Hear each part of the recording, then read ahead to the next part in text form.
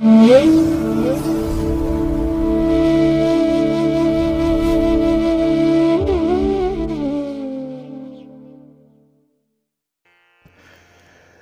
ಮಹಾಗಣಪತಿಯೇ ನಮಃ ಶ್ರೀ ಗುರುಭ್ಯೋ ನಮಃ ಹರಿ ಓಂ ಸಿರಿಗನ್ನಡ ಸುದ್ದಿವಾಹಿನಿಯ ಸದಭಿಮಾನದ ಸಹೃದಯ ವೀಕ್ಷಕ ಮಹಾಶಯರೇ ತಮಗೆಲ್ಲರಿಗೂ ಕೂಡ ಸಿರಿಗನ್ನಡ ಸುದ್ದಿವಾಹಿನಿಗೆ ಸ್ವಾಗತ.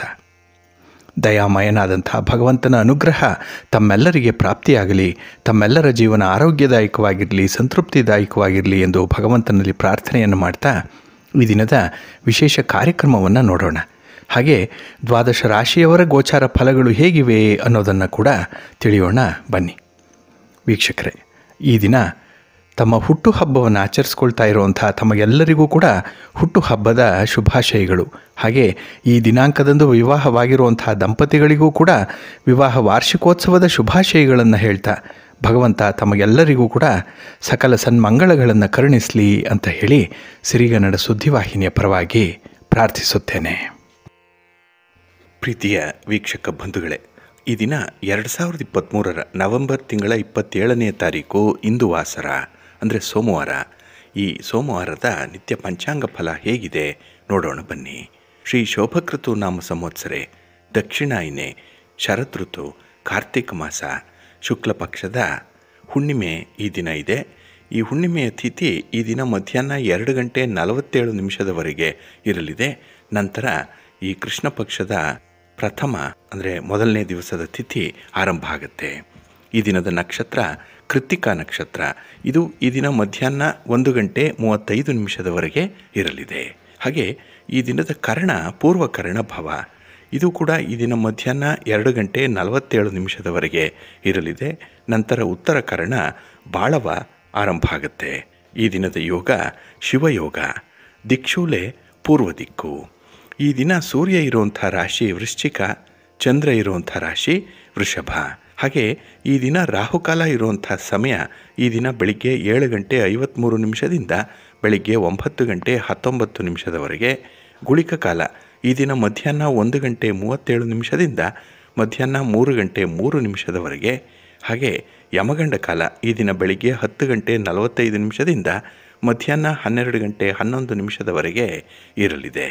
ಇನ್ನು ಈ ದಿನ ದುಷ್ಟ ಮುಹೂರ್ತ ಇರುವಂಥ ಸಮಯ ಈ ದಿನ ಮಧ್ಯಾಹ್ನ ಹನ್ನೆರಡು ಗಂಟೆ ಇಪ್ಪತ್ತೊಂಬತ್ತು ನಿಮಿಷದಿಂದ ಒಂದು ಗಂಟೆ ಹನ್ನೊಂದು ನಿಮಿಷದವರೆಗೆ, ಹಾಗೆ ಮಧ್ಯಾಹ್ನ ಎರಡು ಗಂಟೆ ಮೂವತ್ತೈದು ನಿಮಿಷದಿಂದ ಮಧ್ಯಾಹ್ನ ಮೂರು ಗಂಟೆ ಹದಿನೇಳು ನಿಮಿಷದವರೆಗೆ ದುಷ್ಟ ಮುಹೂರ್ತ ಇರುವಂಥ ಸಮಯ. ಹಾಗಾಗಿ ಈ ಸಮಯದಲ್ಲಿ ಯಾವುದೇ ಪ್ರಯಾಣವನ್ನಾಗಲಿ, ಯಾವುದೇ ಶುಭ ಕಾರ್ಯಗಳನ್ನಾಗಲಿ ಆರಂಭ ಮಾಡಬೇಡಿ. ಏಕೆಂದರೆ ನೀವು ಮಾಡುವಂಥ ಈ ಕೆಲಸಗಳೇನಿದೆ, ಇದರಿಂದ ಬರುವಂಥ ಫಲಿತಾಂಶಗಳು ನಿಮಗೆ ಅಷ್ಟೊಂದು ಅನುಕೂಲಕರವಾಗಿರಲ್ಲ. ಆದ್ದರಿಂದಲೇ ಈ ದುಷ್ಟ ಮುಹೂರ್ತವನ್ನು ಅವಾಯ್ಡ್ ಮಾಡುವಂಥದ್ದು ತುಂಬ ಉತ್ತಮ. ಇನ್ನು ಈ ದಿನ ಅಭಿಜಿತ್ ಮುಹೂರ್ತ ಇರುವಂಥ ಸಮಯ ಈ ದಿನ ಬೆಳಿಗ್ಗೆ ಹನ್ನೊಂದು ಗಂಟೆ ನಲವತ್ತೇಳು ನಿಮಿಷದಿಂದ ಮಧ್ಯಾಹ್ನ ಹನ್ನೆರಡು ಗಂಟೆ ಇಪ್ಪತ್ತೊಂಬತ್ತು ನಿಮಿಷದವರೆಗೆ ಅಭಿಜಿತ್ ಮುಹೂರ್ತ ಇರುವಂಥ ಸಮಯ. ಇನ್ನು ವಿಶೇಷವಾಗಿ ಈ ದಿನ ಅಮೃತ ಕಾಲ ಇರುವಂಥ ಸಮಯ ಈ ದಿನ ಬೆಳಿಗ್ಗೆ ಹನ್ನೊಂದು ಗಂಟೆ ನಾಲ್ಕು ನಿಮಿಷದಿಂದ ಮಧ್ಯಾಹ್ನ ಹನ್ನೆರಡು ಗಂಟೆ ಇಪ್ಪತ್ತೆಂಟು ನಿಮಿಷದವರೆಗೆ ಅಮೃತ ಕಾಲದ ಸಮಯ. ಹಾಗೆ ಈ ದಿನ ಸೂರ್ಯೋದಯ ಆಗುವಂಥ ಸಮಯ ಪ್ರಾತಃ ಕಾಲ ಆರು ಗಂಟೆ ಇಪ್ಪತ್ತೆರಡು ನಿಮಿಷಕ್ಕೆ, ಸೂರ್ಯೋದಯ ಇನ್ನು ಸೂರ್ಯಾಸ್ತ ಸಂಜೆ ಐದು ಗಂಟೆ ಐವತ್ತು ನಿಮಿಷಕ್ಕೆ. ಹಾಗೆ ಈ ದಿನ ಚಂದ್ರನ ಬಲ ಇರುವಂಥ ರಾಶಿಗಳು, ಅಂದರೆ ಚಂದ್ರನಿಂದ ಶುಭ ಫಲಗಳನ್ನು ಪಡ್ಕೊಳ್ಳುವಂಥ ಆರು ರಾಶಿಗಳು ಯಾವ್ಯಾವುದು ಅಂತ ಹೇಳಿದ್ರೆ, ವೃಷಭ, ಕರ್ಕಾಟಕ, ಸಿಂಹ, ವೃಶ್ಚಿಕ, ಧನಸ್ಸು ಮತ್ತು ಮೀನ. ಈ ಆರು ರಾಶಿಯವರಿಗೆ ಶುಭ ಫಲಗಳಿರುತ್ತೆ. ಇನ್ನು ಉಳಿದ ಆರು ರಾಶಿಯವರಿಗೆ ಮಿಶ್ರ ಫಲಗಳಿರುತ್ತೆ. ಅದನ್ನು ಮುಂದೆ ದ್ವಾದಶ ರಾಶಿಯವರ ಗೋಚಾರ ಫಲಗಳನ್ನು ನೋಡುವಂಥ ಸಂದರ್ಭದಲ್ಲಿ ಮತ್ತಷ್ಟು ವಿಚಾರಗಳನ್ನು ತಿಳ್ಕೊಳ್ಳೋಣ. ಇನ್ನು ಈ ದಿನದ ಹೊರದ ಅಧಿಪತಿ ಚಂದ್ರ. ಚಂದ್ರ ಅಂತ ಹೇಳಿದ್ರೆ ವಿಶೇಷವಾಗಿ ಪ್ರಯಾಣಕ್ಕೆ ಕಾರಕನಾಗಿರುವಂಥವನು. ಹಾಗಾಗಿನೇ ಈ ದಿನದಲ್ಲಿ ಯಾವುದೇ ರೀತಿಯ ಪ್ರಯಾಣ ಮಾಡಲಿಕ್ಕೂ ಕೂಡ ಪ್ರವಾಸ ಮಾಡಲಿಕ್ಕೆ ತುಂಬ ಅನುಕೂಲ ಇದೆ. ಹಾಗೆ ಚಂದ್ರ ಅಂತ ಹೇಳಿದ್ರೆ ಮನಸ್ಸಿಗೆ ಕಲ್ಪನೆಗೆ, ಯಶಸ್ಸಿಗೆ, ಚಂಚಲತೆಗೂ ಕೂಡ ಕಾರಕನಾಗಿರುವಂಥವನು. ಹಾಗಾಗಿ ಈ ದಿನ ವಿಶೇಷವಾಗಿ ಸಾಹಿತಿಗಳಿಗೆ, ಕಲಾವಿದರಿಗೆ ತುಂಬ ಅನುಕೂಲ ಇರುವಂಥ ದಿನ. ಹಾಗಾಗಿನೇ ಕಲೆ ಮತ್ತು ಸಾಹಿತ್ಯ ಕ್ಷೇತ್ರದಲ್ಲಿ ಯಾರ್ಯಾರು ತೊಡಗಿಸ್ಕೊಂಡಿರ್ತಾರೋ ಅವರೆಲ್ಲರಿಗೂ ಕೂಡ ಬಹಳ ವಿಶೇಷವಾದಂತಹ ಗೌರವ ಸ್ಥಾನಮಾನಗಳು ಸಿಕ್ಕತ್ತೆ. ನಿಮ್ಮ ಪ್ರತಿಭೆಗೆ ಸೂಕ್ತವಾದಂಥ ಒಂದು ಅವಕಾಶ ಈ ದಿನ ಸಿಕ್ಕುವಂಥದ್ದು ಕೂಡ ಇದೆ. ಚಂದ್ರನಿಂದ ಈ ದಿನ ನಿಮ್ಮ ಮನಸ್ಸು ಬಹಳ ಸಂತೋಷಯುತವಾಗಿರುತ್ತೆ. ಹಾಗೆ ನಿಮ್ಮ ಮನಸ್ಸಿಗೆ ಯಾವುದು ಹಿತ ಅನಿಸತ್ತೆ, ಅಂತಹ ಕೆಲಸಗಳನ್ನು ಹೆಚ್ಚು ಹೆಚ್ಚು ಮಾಡಲಿಕ್ಕೂ ಕೂಡ ಈ ದಿನ ನಿಮಗೆ ಪ್ರೇರೇಪಣೆ ಒದಗಿ ಬರುವಂಥದ್ದು. ಹಾಗೆ ಈ ವಾತ್ಸಲ್ಯಕ್ಕಾಗಲಿ, ಪೋಷಣೆಗಾಗಲಿ ಕಾರಕನಾಗಿರುವಂಥವನು ಚಂದ್ರ. ಹಾಗೆ ಈ ದಿನ ಹಿರಿಯರ ಒಂದು ಪೋಷಣೆಯನ್ನು, ಮಕ್ಕಳ ಪೋಷಣೆಯನ್ನು ಮಾಡುವಂಥದ್ದು, ಹಿರಿಯರನ್ನ ಚೆನ್ನಾಗಿ ಗೌರವಿಸುವಂಥದ್ದು, ಕಾಣುವಂಥದ್ದು ಬಹಳ ವಿಶೇಷ. ಅದರಲ್ಲೂ ಈ ಕಾರ್ತಿಕ ಹುಣ್ಣಿಮೆಯ ದಿನ ಹಿರಿಯರ ಬೇಕು ಬೇಡಗಳನ್ನು ಪರಿಶೀಲನೆ ಮಾಡಿ, ಅವರ ಸೇವೆಯನ್ನು ಮಾಡೋದರಿಂದ ಅತ್ಯುತ್ತಮವಾದ ಫಲಗಳು ಸಿಕ್ಕತ್ತೆ ಅನ್ನುವಂಥದ್ದು ಕೂಡ ಇದೆ. ಏಕೆಂದರೆ ಈ ದಿನ ಚಂದ್ರ ಜಯಂತಿ ಕೂಡ ಇರುವಂಥ ದಿನ, ಬಹಳ ವಿಶೇಷವಾಗಿರುವಂಥ ದಿನ. ಹಾಗಾಗಿನೇ ನಿಮ್ಮ ಕೆಲಸ ಕಾರ್ಯಗಳು ಈ ದಿನ ನಿಮ್ಮ ಮನಸ್ಸಿನಂತೆ ಇರುತ್ತೆ. ಮನಸ್ಸಿನಂತೆ ಮಹಾದೇವ ಅಂತ ಹೇಳ್ತಾರಲ್ಲ. ಹಾಗೆ ನೀವು ಮನಸ್ಸು ಮಾಡಿದ್ರೆ ಯಾವುದೇ ಒಂದು ಸಾಧನೆಯನ್ನು ಮಾಡಲಿಕ್ಕೂ ಕೂಡ ತುಂಬ ಅನುಕೂಲ ಇರುವಂಥ ದಿನ ಈ ಹುಣ್ಣಿಮೆಯ ದಿನ. ಅದರ ಜೊತೆಗೆ ಈ ದಿನ ಇರುವಂಥ ಗುರುಹೋರದ ಸಮಯ ಅಂತ ಹೇಳಿದ್ರೆ ಇದು ಈ ದಿನ ಬೆಳಿಗ್ಗೆ ಎಂಟು ಗಂಟೆ ಹದಿನೇಳು ನಿಮಿಷದಿಂದ ಬೆಳಿಗ್ಗೆ ಒಂಬತ್ತು ಗಂಟೆ ಹದಿನಾಲ್ಕು ನಿಮಿಷದವರೆಗೆ. ಹಾಗೆ ಮಧ್ಯಾಹ್ನ ಎರಡು ಗಂಟೆ ಐವತ್ತೆಂಟು ನಿಮಿಷದಿಂದ, ಅಪರಾಹ್ನ ಮೂರು ಗಂಟೆ ಐವತ್ತೈದು ನಿಮಿಷದವರೆಗೆ, ಇನ್ನು ರಾತ್ರಿ ಹತ್ತು ಗಂಟೆ ಒಂದು ನಿಮಿಷದಿಂದ, ರಾತ್ರಿ ಹನ್ನೊಂದು ಗಂಟೆ ನಾಲ್ಕು ನಿಮಿಷದವರೆಗೆ ಗುರುಹೋರ ಇರುವಂಥ ಸಮಯ. ಇನ್ನು ಈ ದಿನ ಶನಿಹೋರ ಇರುವಂಥ ಸಮಯ. ಇದು ಸ್ವಲ್ಪ ಅನ್ಫೇವರಬಲ್ ಆಗಿ ಇರುವಂಥದ್ದು. ಏಕೆಂದರೆ ಈ ದಿನ ನೀವು ಶನಿ ಹೋರಾದಲ್ಲಿ ಯಾವುದೇ ಕೆಲಸಗಳನ್ನು ಆರಂಭ ಮಾಡಿದ್ರೂ ಅದು ನಿಧಾನ ಗತಿಯಲ್ಲಿ ನಿಮಗೆ ಫಲಿತಾಂಶವನ್ನು ಕೊಡುತ್ತೆ. ಹಾಗಾಗಿನೇ ಈ ದಿನ ಇರುವಂಥ ಶನಿ ಹೋರವನ್ನು ಸ್ವಲ್ಪ ಅವಾಯ್ಡ್ ಮಾಡುವಂಥದ್ದು ಬಹಳ ಉತ್ತಮ. ಈ ದಿನ ಶನಿ ಹೋರ ಇರುವಂಥ ಸಮಯ ಬೆಳಿಗ್ಗೆ ಏಳು ಗಂಟೆ ಇಪ್ಪತ್ತು ನಿಮಿಷದಿಂದ ಬೆಳಿಗ್ಗೆ ಎಂಟು ಗಂಟೆ ಹದಿನೇಳು ನಿಮಿಷದವರೆಗೆ. ಹಾಗೆ ಮಧ್ಯಾಹ್ನ ಎರಡು ಗಂಟೆ ಒಂದು ನಿಮಿಷದಿಂದ ಮಧ್ಯಾಹ್ನ ಎರಡು ಗಂಟೆ ಐವತ್ತೆಂಟು ನಿಮಿಷದವರೆಗೆ. ಹಾಗೆ ರಾತ್ರಿ ಎಂಟು ಗಂಟೆ ಐವತ್ತೆಂಟು ನಿಮಿಷದಿಂದ ರಾತ್ರಿ ಹತ್ತು ಗಂಟೆ ಒಂದು ನಿಮಿಷದವರೆಗೆ ಶನಿಹೋರ ಇರುವಂಥ ಸಮಯ. ಇನ್ನು ಈ ದಿನ ಇರುವಂಥ ಕುಜಹೋರ ಇದು ಕೂಡ ಸ್ವಲ್ಪ ಅನ್ಫೇವರಬಲ್ ಆಗಿರುವಂಥದ್ದು ಅದರಲ್ಲೂ ಈ ಭೂಮಿಗೆ ಸಂಬಂಧಪಟ್ಟಂಥ ವಿಚಾರಗಳು ಏನೇ ಇದ್ದರೂ ಅದನ್ನು ಈ ದಿನ ಇರುವಂಥ ಕುಜಹೋರದಲ್ಲಿ ಆರಂಭ ಮಾಡಬೇಡಿ. ಮನೆ, ಸೈಟು, ಜಮೀನು ಇತ್ಯಾದಿ ವಿಚಾರಗಳ ಬಗ್ಗೆ ಯಾವುದೇ ತೀರ್ಮಾನ ತೆಗೆದುಕೊಳ್ಳುವಂಥದ್ದಾಗಲಿ, ಮಾರಾಟ ಮಾಡುವಂಥದ್ದು, ಖರೀದಿ ಮಾಡುವಂಥ ಪ್ರಕ್ರಿಯೆಗಳು ಅಥವಾ ಈ ಭೂಮಿಗೆ ಸಂಬಂಧಪಟ್ಟಂಥ ದಾಖಲೆ ಪತ್ರಗಳಿಗೆ ಸಹಿ ಮಾಡುವಂಥ ವಿಚಾರಗಳು ಇಂಥ ಚಟುವಟಿಕೆಗಳು ಏನೇ ಇದ್ದರೂ ಕೂಡ ಕುಜ ಹೋರಾದಲ್ಲಿ ಮಾಡಬೇಡಿ, ಆದಷ್ಟು ಅವಾಯ್ಡ್ ಮಾಡಿ. ಹಾಗಾಗಿ ಈ ದಿನ ಕುಜ ಹೋರ ಇರುವಂಥ ಸಮಯ ಬೆಳಿಗ್ಗೆ ಒಂಬತ್ತು ಗಂಟೆ ಹದಿನಾಲ್ಕು ನಿಮಿಷದಿಂದ ಬೆಳಿಗ್ಗೆ ಹತ್ತು ಗಂಟೆ ಹನ್ನೆರಡು ನಿಮಿಷದವರೆಗೆ. ಇನ್ನು ಅಪರಾಹ್ನ ಮೂರು ಗಂಟೆ ಐವತ್ತೈದು ನಿಮಿಷದಿಂದ ನಾಲ್ಕು ಗಂಟೆ ಐವತ್ತೆರಡು ನಿಮಿಷದವರೆಗೆ. ಹಾಗೆ ರಾತ್ರಿ ಹನ್ನೊಂದು ಗಂಟೆ ನಾಲ್ಕು ನಿಮಿಷದಿಂದ ರಾತ್ರಿ ಹನ್ನೆರಡು ಗಂಟೆ ಏಳು ನಿಮಿಷದವರೆಗೆ ಕುಜಹೋರ ಇರುವಂಥ ಸಮಯ. ಇದನ್ನು ನೀವು ಅವಾಯ್ಡ್ ಮಾಡಿ ಒಳ್ಳೆಯದಾಗತ್ತೆ ಹಾಗಾಗಿ ಬಂಧುಗಳೇ, ನಿಮ್ಮ ಕೆಲಸ ಕಾರ್ಯಗಳನ್ನು ಒಳ್ಳೆಯ ಮುಹೂರ್ತದಲ್ಲಿ ಆರಂಭ ಮಾಡಿ, ಒಳ್ಳೆಯ ಸಮಯ ಯಾವುದು ಅನ್ನೋವಂಥದ್ದನ್ನು ತಿಳ್ಕೊಳ್ಳಿ. ಹಾಗೆ ಕೆಲವೊಂದು ನಿರ್ದಿಷ್ಟವಾದಂತಹ ಕೆಲಸಗಳನ್ನು ಈ ನಿರ್ದಿಷ್ಟ ಹೊರದಲ್ಲಿ ಆರಂಭ ಮಾಡಬೇಕು. ಇದನ್ನು ಕೂಡ ನೀವು ಗಮನಿಸಬೇಕು. ಅದಕ್ಕಾಗಿಯೇ ಸಿರಿಗನ್ನಡ ಸುದ್ದಿವಾಹಿನಿ ಪ್ರತಿನಿತ್ಯ ಪ್ರಸಾರ ಮಾಡುವಂಥ ಈ ಪಂಚಾಂಗದ ವಿವರಗಳನ್ನು ಕೇಳಿಸ್ಕೊಳ್ಳಿ. ಇದರಲ್ಲಿ ನಿಮಗೆ ಬೇಕಾದಂತಹ ಕೆಲವು ಮಾಹಿತಿಗಳು ಸಿಕ್ಕತ್ತೆ. ಅದನ್ನು ಅನುಸರಣೆ ಮಾಡೋದರಿಂದ ಖಂಡಿತ ಒಳ್ಳೆಯ ಫಲ ನಿಮಗೆ ಸಿಕ್ಕತ್ತೆ. ಹಾಗಾಗಿ ನಿಮ್ಮ ಪ್ರಯತ್ನ ಸಫಲ ಆಗಬೇಕು. ನೀವು ಅಂದುಕೊಂಡಂತಹ ಫಲಿತಾಂಶವನ್ನು ಪಡ್ಕೊಳ್ಬೇಕು ಅಂತ ಹೇಳಿದ್ರೆ ನಿಮ್ಮ ಕೆಲಸ ಕಾರ್ಯಗಳನ್ನು ಅಥವಾ ನಿಮ್ಮ ಪ್ರಯಾಣವನ್ನು ಆರಂಭ ಮಾಡುವಂಥ ಕಾಲ ಮಾತ್ರ ಬಹಳ ಒಳ್ಳೆಯದಾಗಿರಬೇಕು. ಶುಭ ಮುಹೂರ್ತ ಆಗಿರಬೇಕು. ಇದನ್ನು ನೀವು ಪ್ರತಿನಿತ್ಯ ಗಮನಿಸ್ತಾ ಇರಿ ಅಂತ ಹೇಳ್ತಾ, ಇನ್ನು ಈ ದಿನ ಹುಣ್ಣಿಮೆಯ ದಿನ. ಬಹಳ ವಿಶೇಷವಾಗಿ ಕಾರ್ತಿಕ ಹುಣ್ಣಿಮೆ ಇರುವಂಥದ್ದು. ಆದ್ದರಿಂದಲೇ ಇದನ್ನು ದೊಡ್ಡ ಗೌರಿ ಹುಣ್ಣಿಮೆ ಅಂತ ಹೇಳಿ ಕರೆಯುವಂಥದ್ದು. ಹಾಗೆ ಈ ದಿನ ವಿಶೇಷವಾಗಿ ಕಾರ್ತಿಕ ಸೋಮವಾರ ಇರುವಂಥದ್ದು. ಏಕೆಂದರೆ ಸೋಮವಾರದ ದಿನ ಹುಣ್ಣಿಮೆ ಬಂದಿರುವಂಥದ್ದು ಬಹಳ ವಿಶೇಷ. ಹಾಗಾಗಿ ಈ ಸೋಮವಾರದ ವ್ರತವನ್ನು ಮಾಡುವಂಥವರು, ಅಥವಾ ಕಾರ್ತಿಕ ಮಾಸದಲ್ಲಿ ಈ ಸೋಮವಾರದ ದಿನ ಮಾಡಬೇಕಾಗಿರುವಂಥ ಕೆಲವು ದೈವಿಕ ಕಾರ್ಯಗಳೇನಿದೆ, ಅದನ್ನು ಮಾಡುವಂಥವ್ರಿಗೆ ತುಂಬ ಅನುಕೂಲ ಇರುವಂಥ ಒಂದು ದಿನ ಕೂಡ. ಇನ್ನು ಈ ದಿನ ವಿಷ್ಣು ದೀಪೋತ್ಸವವನ್ನು ಆಚರಣೆ ಮಾಡುವಂಥದ್ದಿದೆ. ನಿನ್ನೆ ಶಿವ ದೀಪೋತ್ಸವ ಆಯಿತು. ಶಿವನ ದೇವಾಲಯದಲ್ಲಿ ದೀಪೋತ್ಸವಗಳು ನಡೀತು. ಈ ದಿನ ವಿಷ್ಣು ತತ್ವ ಇರುವಂತಹ ದೇವಾಲಯಗಳಲ್ಲಿ ವಿಷ್ಣು ದೀಪೋತ್ಸವ ಇರುತ್ತೆ. ಹಾಗೆ ಈ ದಿನ ವ್ಯಾಸ ಪೂಜೆಯನ್ನು ಮಾಡುವಂಥದ್ದು ಕೂಡ ಇದೆ. ಇನ್ನು ಚಂದ್ರ ಜಯಂತಿ. ಈ ಸಮುದ್ರ ಮಂಥನ ಕಾಲದಲ್ಲಿ ಲಕ್ಷ್ಮಿಯ ಜೊತೆಯಲ್ಲಿ ಚಂದ್ರ ಉದಯವಾದಂಥ ಒಂದು ವಿಶೇಷ ಸಂದರ್ಭ ಇದು. ಹಾಗಾಗಿ ಈ ದಿನ ಚಂದ್ರ ಜಯಂತಿಯನ್ನು ಆಚರಣೆ ಮಾಡುವಂಥದ್ದು. ಹಾಗೆ ಧಾನ್ಯಲಕ್ಷ್ಮಿ ಪೂಜೆಯನ್ನು ಕೂಡ ಈ ದಿನ ಮಾಡ್ತಾರೆ. ಹುತ್ತರಿ ಹಬ್ಬ ಈ ಕೊಡಗಿನ ಪ್ರದೇಶದಲ್ಲಿ ವಿಶೇಷವಾಗಿ ದವಸ ಧಾನ್ಯಗಳನ್ನು ಪೂಜೆ ಮಾಡಲಿಕ್ಕೆ ಬಹಳ ವಿಶೇಷವಾಗಿ ಈ ದಿನ ಮತ್ತು ನಾಳೆ ಮೀಸಲಾಗಿರುವಂಥದ್ದು. ಕದಿರಿ ಕುಯ್ಯುವಂಥದ್ದು. ಅಂದರೆ ಗದ್ದೆಗೆ ಹೋಗಿ ಭತ್ತದ ಪೈರನ್ನು ಪೂಜೆ ಮಾಡಿ ಅದನ್ನು ಕುಯ್ಯುವಂಥದ್ದು. ಹಾಗಾಗಿ ಧಾನ್ಯಲಕ್ಷ್ಮಿ ಮನೆಗೆ ಬರುವಂಥ ಒಂದು ಮುನ್ಸೂಚನೆಯನ್ನು ಈ ದಿನ ಕೊಡ್ತಾಳೆ ಅನ್ನುವಂಥ ಒಂದು ನಂಬಿಕೆ ಇದೆ. ಹಾಗೆ ಈ ದಿನ ಶ್ರೀ ಗುರುನಾನಕರ ಜಯಂತಿ ಕೂಡ ಇರುವಂಥ ದಿನ. ಒಟ್ಟಾರೆ ಈ ಹುಣ್ಣಿಮೆ, ಕಾರ್ತಿಕ ಹುಣ್ಣಿಮೆ ಏನಿದೆ ಬಹಳ ವಿಶೇಷವಾಗಿ ಕಾಣಿಸ್ಕೊಳ್ತಾ ಇದೆ.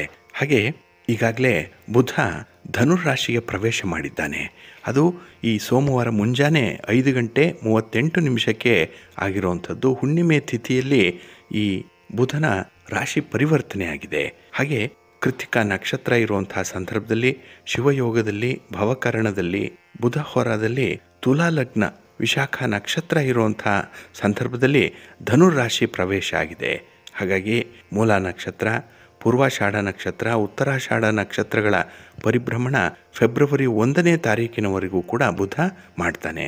ಈ ಮಧ್ಯೆ ಬುಧ ಡಿಸೆಂಬರ್ ಹದಿನಾಲ್ಕನೇ ತಾರೀಕಿನಿಂದ ಜನವರಿ ಎರಡನೇ ತಾರೀಕಿನವರೆಗೆ ವಕ್ರಿಯಾಗಿ ಚಲನೆಯನ್ನು ಮಾಡ್ತಾನೆ. ಇದು ವ್ಯಾಪಾರ ವ್ಯವಹಾರಸ್ಥರಿಗೆ ಸ್ವಲ್ಪ ವ್ಯತ್ಯಾಸಗಳಾಗುವಂಥ ಸಂದರ್ಭ ಇದು. ಹಾಗಾಗಿ ನೀವು ಯಾವುದೇ ರೀತಿಯ ವ್ಯಾಪಾರಸ್ಥರಾಗಿದ್ದರೆ ವರ್ತಕರಾಗಿದ್ದರೆ ದಳ್ಳಾಳಿಗಳಾಗಿದ್ದರೆ ವಿಶೇಷವಾಗಿ ಈ ಬುಧನ ರಾಶಿ ಪರಿವರ್ತನೆಯನ್ನು ಗಮನಿಸಬೇಕು. ಹಾಗೆ ಈ ಬುಧನ ವಕ್ರಾರಂಭವನ್ನು ಕೂಡ ನೀವು ಗಮನಿಸಬೇಕಾಗತ್ತೆ. ಹಾಗಾಗಿ ನಾವು ಶ್ರೀಧರ ಗುರೂಜಿ ಭವಿಷ್ಯ ನುಡಿ ಈ ಒಂದು ಚಾನಲ್ನಲ್ಲಿ ಈ ಬುಧನ ರಾಶಿ ಪರಿವರ್ತನೆ, ಹಾಗೆ ಈ ವಕ್ರಚಲನೆ ಇದರ ಬಗ್ಗೆ ಯಾವ ಯಾವ ರೀತಿಯ ಫಲಾಫಲಗಳು ದ್ವಾದಶ ರಾಶಿಯವರಿಗೆ ಇರುತ್ತೆ ಅನ್ನುವಂಥ ವಿಚಾರಗಳನ್ನು ಅಲ್ಲಿ ತಿಳ್ಕೊಳ್ಳೋಣ ಅಂತ ಹೇಳ್ತಾ ಇನ್ನು ಬಂಧುಗಳೇ, ಈ ದಿನ ವಿಷ್ಣು ದೀಪೋತ್ಸವ ಇರುವಂಥ ದಿನ. ಇಲ್ಲಿ ವೈಷ್ಣವ ಪಂಥದ ಭಕ್ತರಿಗೆ ಈ ದಿನ ಅತ್ಯಂತ ಮಂಗಳಕರವಾಗಿರುವಂಥ ಒಂದು ದಿನ. ಏಕೆ ಅಂತ ಹೇಳಿದ್ರೆ, ಈ ದಿನ ತಮ್ಮ ಮನೆಗಳಲ್ಲಿ, ಹಾಗೆ ವಿಷ್ಣುವಿನ ದೇವಾಲಯಗಳಲ್ಲಿ ದೀಪಗಳನ್ನು, ತುಪ್ಪದ ದೀಪಗಳನ್ನು ಬೆಳಗಿಸುವಂಥ ಒಂದು ವಿಶೇಷ ಕಾರ್ಯಕ್ರಮ ಇರುತ್ತೆ.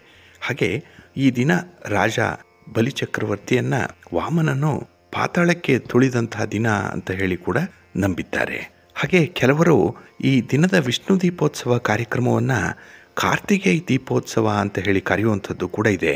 ಇದು ಬಹಳ ವಿಶೇಷವಾಗಿ ತಮಿಳುನಾಡು ಮತ್ತು ಕೇರಳದಲ್ಲಿ ಈ ಕಾರ್ತಿಕೈ ದೀಪೋತ್ಸವವನ್ನು ಆಚರಣೆ ಮಾಡುವಂಥದ್ದಿದೆ.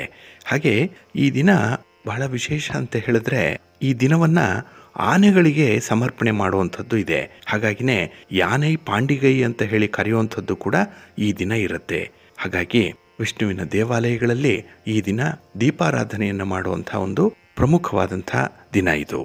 ಹಾಗೆ ಬಂಧುಗಳೇ, ಈಗಾಗಲೇ ಹೇಳಿದಾಗೆ ವಾಮನ ಅವತಾರಕ್ಕೆ ಸಂಬಂಧಪಟ್ಟಿರುವಂಥದ್ದು ಈ ಕಾರ್ತಿಕ ಹುಣ್ಣಿಮೆ ಅಂತ ಹೇಳಿದ್ವಿ. ಹಾಗಾಗಿ ಇಲ್ಲಿ ಸಾಂಪ್ರದಾಯಿಕ ತಮಿಳು ಕ್ಯಾಲೆಂಡರ್ ಪ್ರಕಾರ ಕಾರ್ತಿಕೈ ಮಾಸದಲ್ಲೇ ಬರುವಂಥ ಹುಣ್ಣಿಮೆಯ ದಿನ ವಿಷ್ಣು ದೀಪವನ್ನು ಆಚರಣೆ ಮಾಡುವಂಥದ್ದು ಇದೆ. ಇಲ್ಲಿ ಈ ದೀಪೋತ್ಸವವನ್ನು ಸೊಕ್ಕಪನೈ ಅಂತ ಹೇಳಿ ಕೂಡ ಕರೆಯುವಂಥದ್ದು ಇದೆ.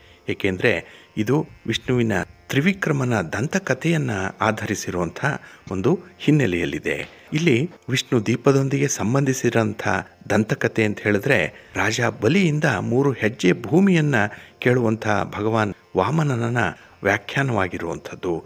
ಇಲ್ಲಿ ಭೂಮಿಯ ಬದಲಿಗೆ ಭೂಮಿಯ ಚಲನೆಯನ್ನ ಆಧರಿಸಿರುವಂಥದ್ದು. ಹಾಗಾಗಿ ಭಗವಾನ್ ವಾಮನನ ಎರಡು ಹೆಜ್ಜೆಗಳೇನಿದೆ, ಅದು ಉತ್ತರಾಯಣ ಮತ್ತು ವಸಂತ ಋತುವಿನ ವಿಶ್ವತ್ ಸಂಕ್ರಾಂತಿ ಅಂತ ಹೇಳ್ತಾರೆ. ಇನ್ನು ಮೂರನೇ ಹೆಜ್ಜೆ ಭೂಗತ ಜಗತ್ತಿಗೆ ಸಂಬಂಧಪಟ್ಟಿರುವಂಥದ್ದು, ಅಂದರೆ ಪಾತಾಳಕ್ಕೆ ಸಂಬಂಧಪಟ್ಟಿದ್ದು. ಹಾಗಾಗಿನೇ ಬಲಿಯನ್ನ ಪಾತಾಳಕ್ಕೆ ತುಳಿದಂತಹ ದಿನ ಅಂತ ಕೂಡ ಹೇಳ್ತಾರೆ. ಹಾಗಾಗಿ ಈ ಶರತ್ಕಾಲದ ವಿಶ್ವ ಸಂಕ್ರಾಂತಿ ಏನಿದೆ, ಇದು ವಿಷ್ಣು ದೀಪವನ್ನು ನೆನಪಿಸುವಂಥದ್ದು. ಶರತ್ಕಾಲದ ವಿಶ್ವ ಸಂಕ್ರಾಂತಿ ಈ ಘಟನೆಯನ್ನು ನೆನಪಿಸುತ್ತೆ. ಅದಕ್ಕಾಗಿಯೇ ದೀಪೋತ್ಸವವನ್ನು ನಡೆಸುವಂಥದ್ದು. ಹಾಗಾಗಿ ವಿಷ್ಣು ಬಲಿಚಕ್ರವರ್ತಿಯನ್ನ ಪಾತಾಳಕ್ಕೆ ತುಳಿದದರ ಸಂಕೇತವಾಗಿ ಹಾಗೆ ಆ ರಾಕ್ಷಸನ ಉಪಟಳದಿಂದ ರಕ್ಷಣೆಯನ್ನ ಮಾಡಿದ್ದಕ್ಕಾಗಿ ಸಂತೋಷದಿಂದ ಈ ದೀಪಾರಾಧನೆಯನ್ನ ಮಾಡುವಂತ ಹಿನ್ನೆಲೆ ಇದೆ. ಹಾಗಾಗಿನೇ ಈ ಕಾರ್ತಿಕ ಹುಣ್ಣಿಮೆಗೆ ನಾನಾ ರೀತಿಯ ಹಿನ್ನೆಲೆಗಳಿದೆ. ಹಾಗಾಗಿ ಒಂದೊಂದಕ್ಕೂ ಕೂಡ ನಮ್ಮ ಪುರಾಣಗಳಲ್ಲಿ ಒಂದೊಂದು ಮಹತ್ವಪೂರ್ಣವಾದಂಥ ಹಿನ್ನೆಲೆ ಇದೆ. ಈ ಒಂದು ಸಂದರ್ಭದಲ್ಲಿ ಈ ಕಾರ್ತಿಕ ಹುಣ್ಣಿಮೆಯ ದಿನ ಯಾವ ರೀತಿಯ ದೀಪಾರಾಧನೆಯನ್ನು ಮಾಡಬೇಕು, ಹಾಗೆ ಈ ಹುಣ್ಣಿಮೆಯ ದಿನ ಮಾಡಬೇಕಾದಂತಹ, ಹಾಗೆ ಮಾಡಬಾರದ ಕೆಲಸಗಳು ಯಾವ್ಯಾವುದು ಅನ್ನುವಂಥ ವಿಚಾರಗಳನ್ನ ಈಗ ವಿಶೇಷ ಕಾರ್ಯಕ್ರಮದಲ್ಲಿ ನೋಡೋಣ. ಬನ್ನಿ.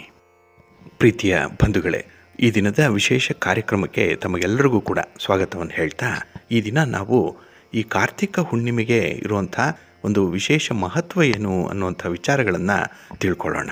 ಇಲ್ಲಿ ಕಾರ್ತಿಕ ಮಾಸದ ಹುಣ್ಣಿಮೆಯ ದಿನ ಭಗವಾನ್ ವಿಷ್ಣು ಮತ್ಸ್ಯಾವತಾರವನ್ನು ತೆಗೆದುಕೊಂಡರು ಅನ್ನುವಂಥ ಒಂದು ನಂಬಿಕೆ ಕೂಡ ಇದೆ.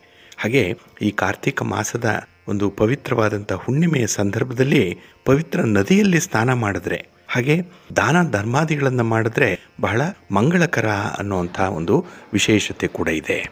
ಪುರಾಣಗಳ ಪ್ರಕಾರ ಕಾರ್ತಿಕ ಹುಣ್ಣಿಮೆ ಈ ದಿನ ಭಗವಾನ್ ವಿಷ್ಣು ರಾಕ್ಷಸ ತ್ರಿಪುರಾಸುರನನ್ನು ಸಂಹಾರ ಮಾಡಿದ್ರು ಅನ್ನುವಂಥದ್ದನ್ನು ಹೇಳುತ್ತೆ. ಆದ್ದರಿಂದಲೇ ಈ ದಿನವನ್ನು ತ್ರಿಪುರಾರಿ ಪೂರ್ಣಿಮೆ ಅಂತ ಕೂಡ ಕೆಲವರು ಕರೆಯುವಂಥದ್ದು ಇದೆ.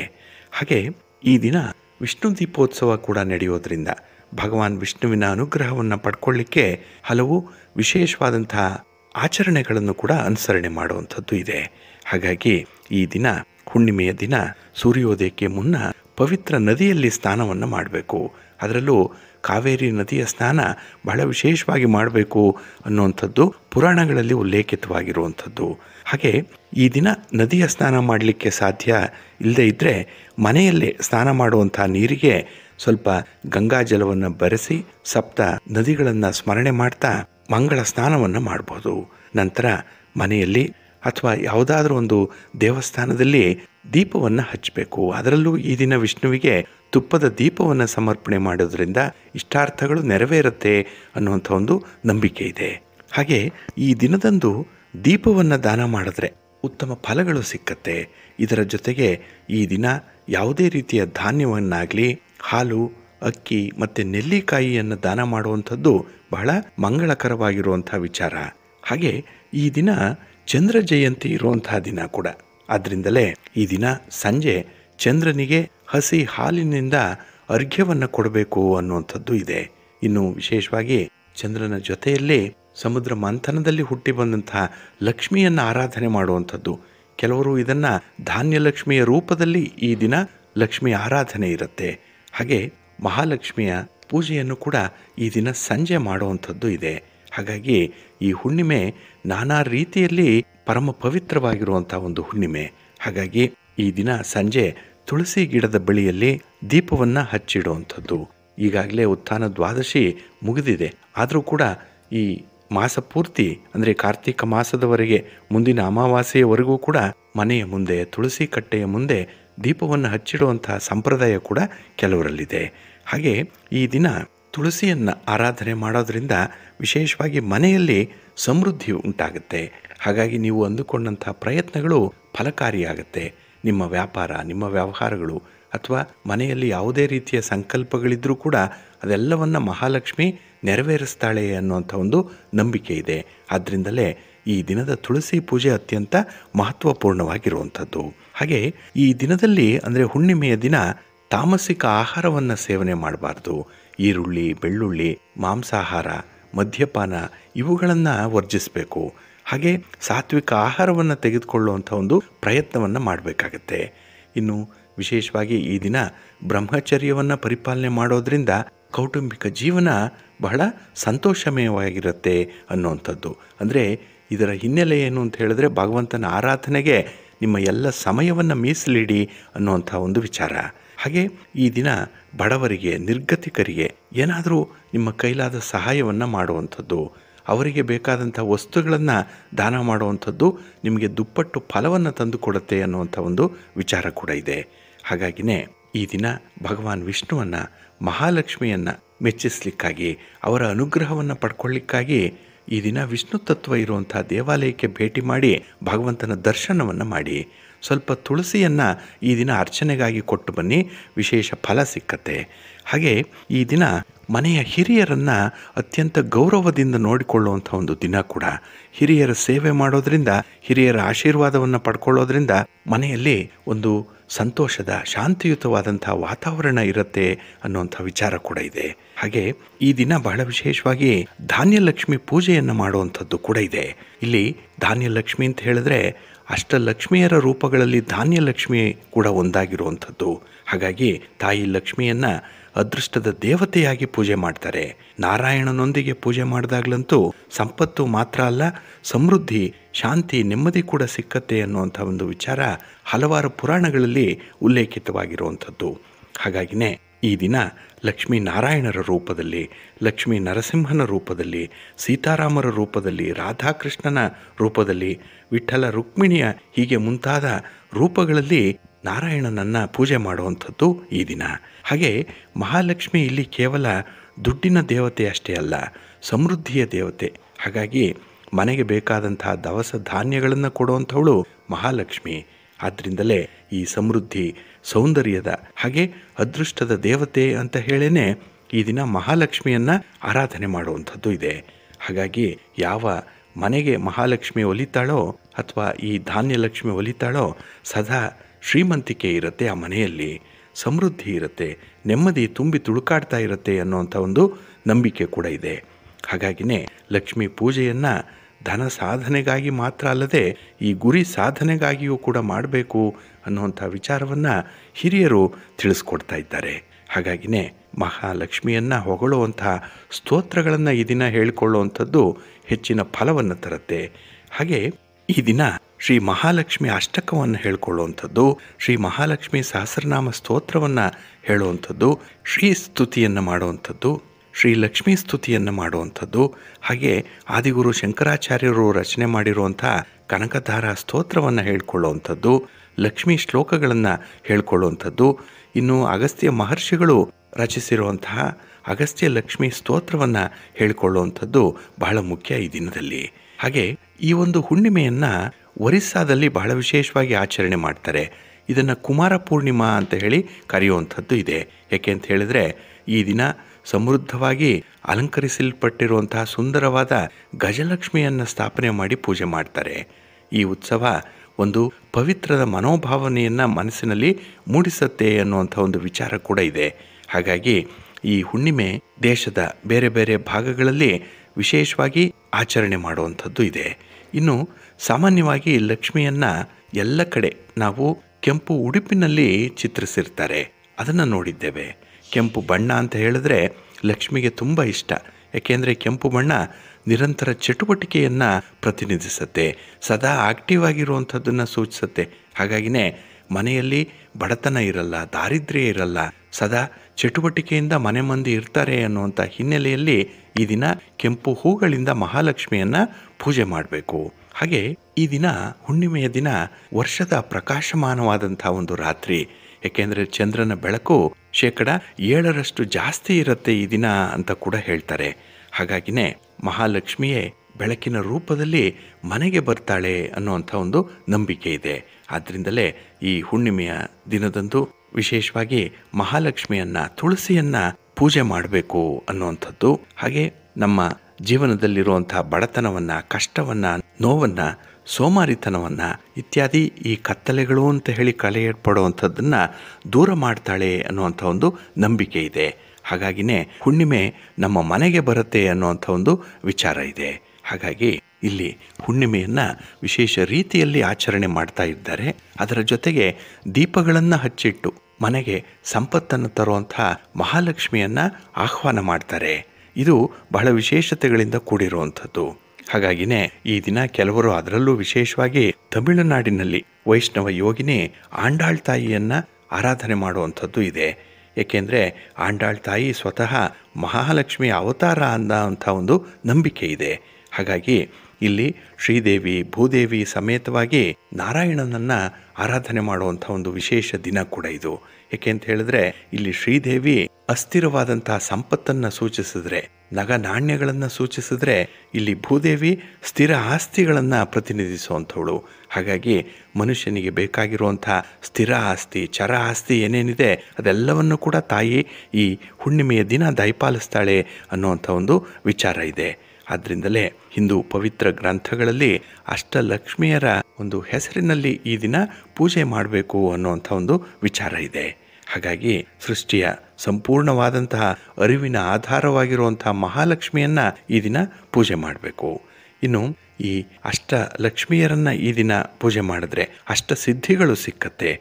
ಅದರ ಜೊತೆಗೆ ಹದಿನಾರು ಪ್ರಕಾರದ ಲೌಕಿಕ ಸಂಪತ್ತನ್ನು ಪ್ರತಿನಿಧಿಸುವಂತಹ ಮಹಾಲಕ್ಷ್ಮಿ ನಮಗೆ ಒಲಿದು ಬರ್ತಾಳೆ ಅನ್ನುವಂಥ ಒಂದು ವಿಚಾರ ಇದೆ. ಹಾಗಾಗಿನೇ ಕೀರ್ತಿ, ಜ್ಞಾನ, ಧೈರ್ಯ, ಸಾಮರ್ಥ್ಯ, ವಿಜಯ, ಶೌರ್ಯ, ಅಪಾರವಾದ ಸಂಪತ್ತು ಹೇರಳವಾದಂತಹ ಧನಧಾನ್ಯಗಳು, ಸಂತೋಷ, ಆನಂದ, ಒಂದು ಧ್ಯಾನ ಶಕ್ತಿ, ಹಾಗೆ ಒಂದು ಸೌಂದರ್ಯ ಉನ್ನತವಾದಂಥ ಚಿಂತನೆ, ನೈತಿಕತೆ, ಒಳ್ಳೆಯ ಆರೋಗ್ಯ, ದೀರ್ಘಾಯುಷ್ಯ, ಇವೆಲ್ಲವೂ ಕೂಡ ಈ ದಿನ ಮಹಾಲಕ್ಷ್ಮಿಯನ್ನು, ಮಹಾವಿಷ್ಣುವನ್ನು ಸ್ಮರಣೆ ಮಾಡಿಕೊಂಡ್ರೆ ಸಾಕು, ಲಭ್ಯವಾಗತ್ತೆ ಅನ್ನುವಂಥ ಒಂದು ವಿಚಾರ ಇದೆ.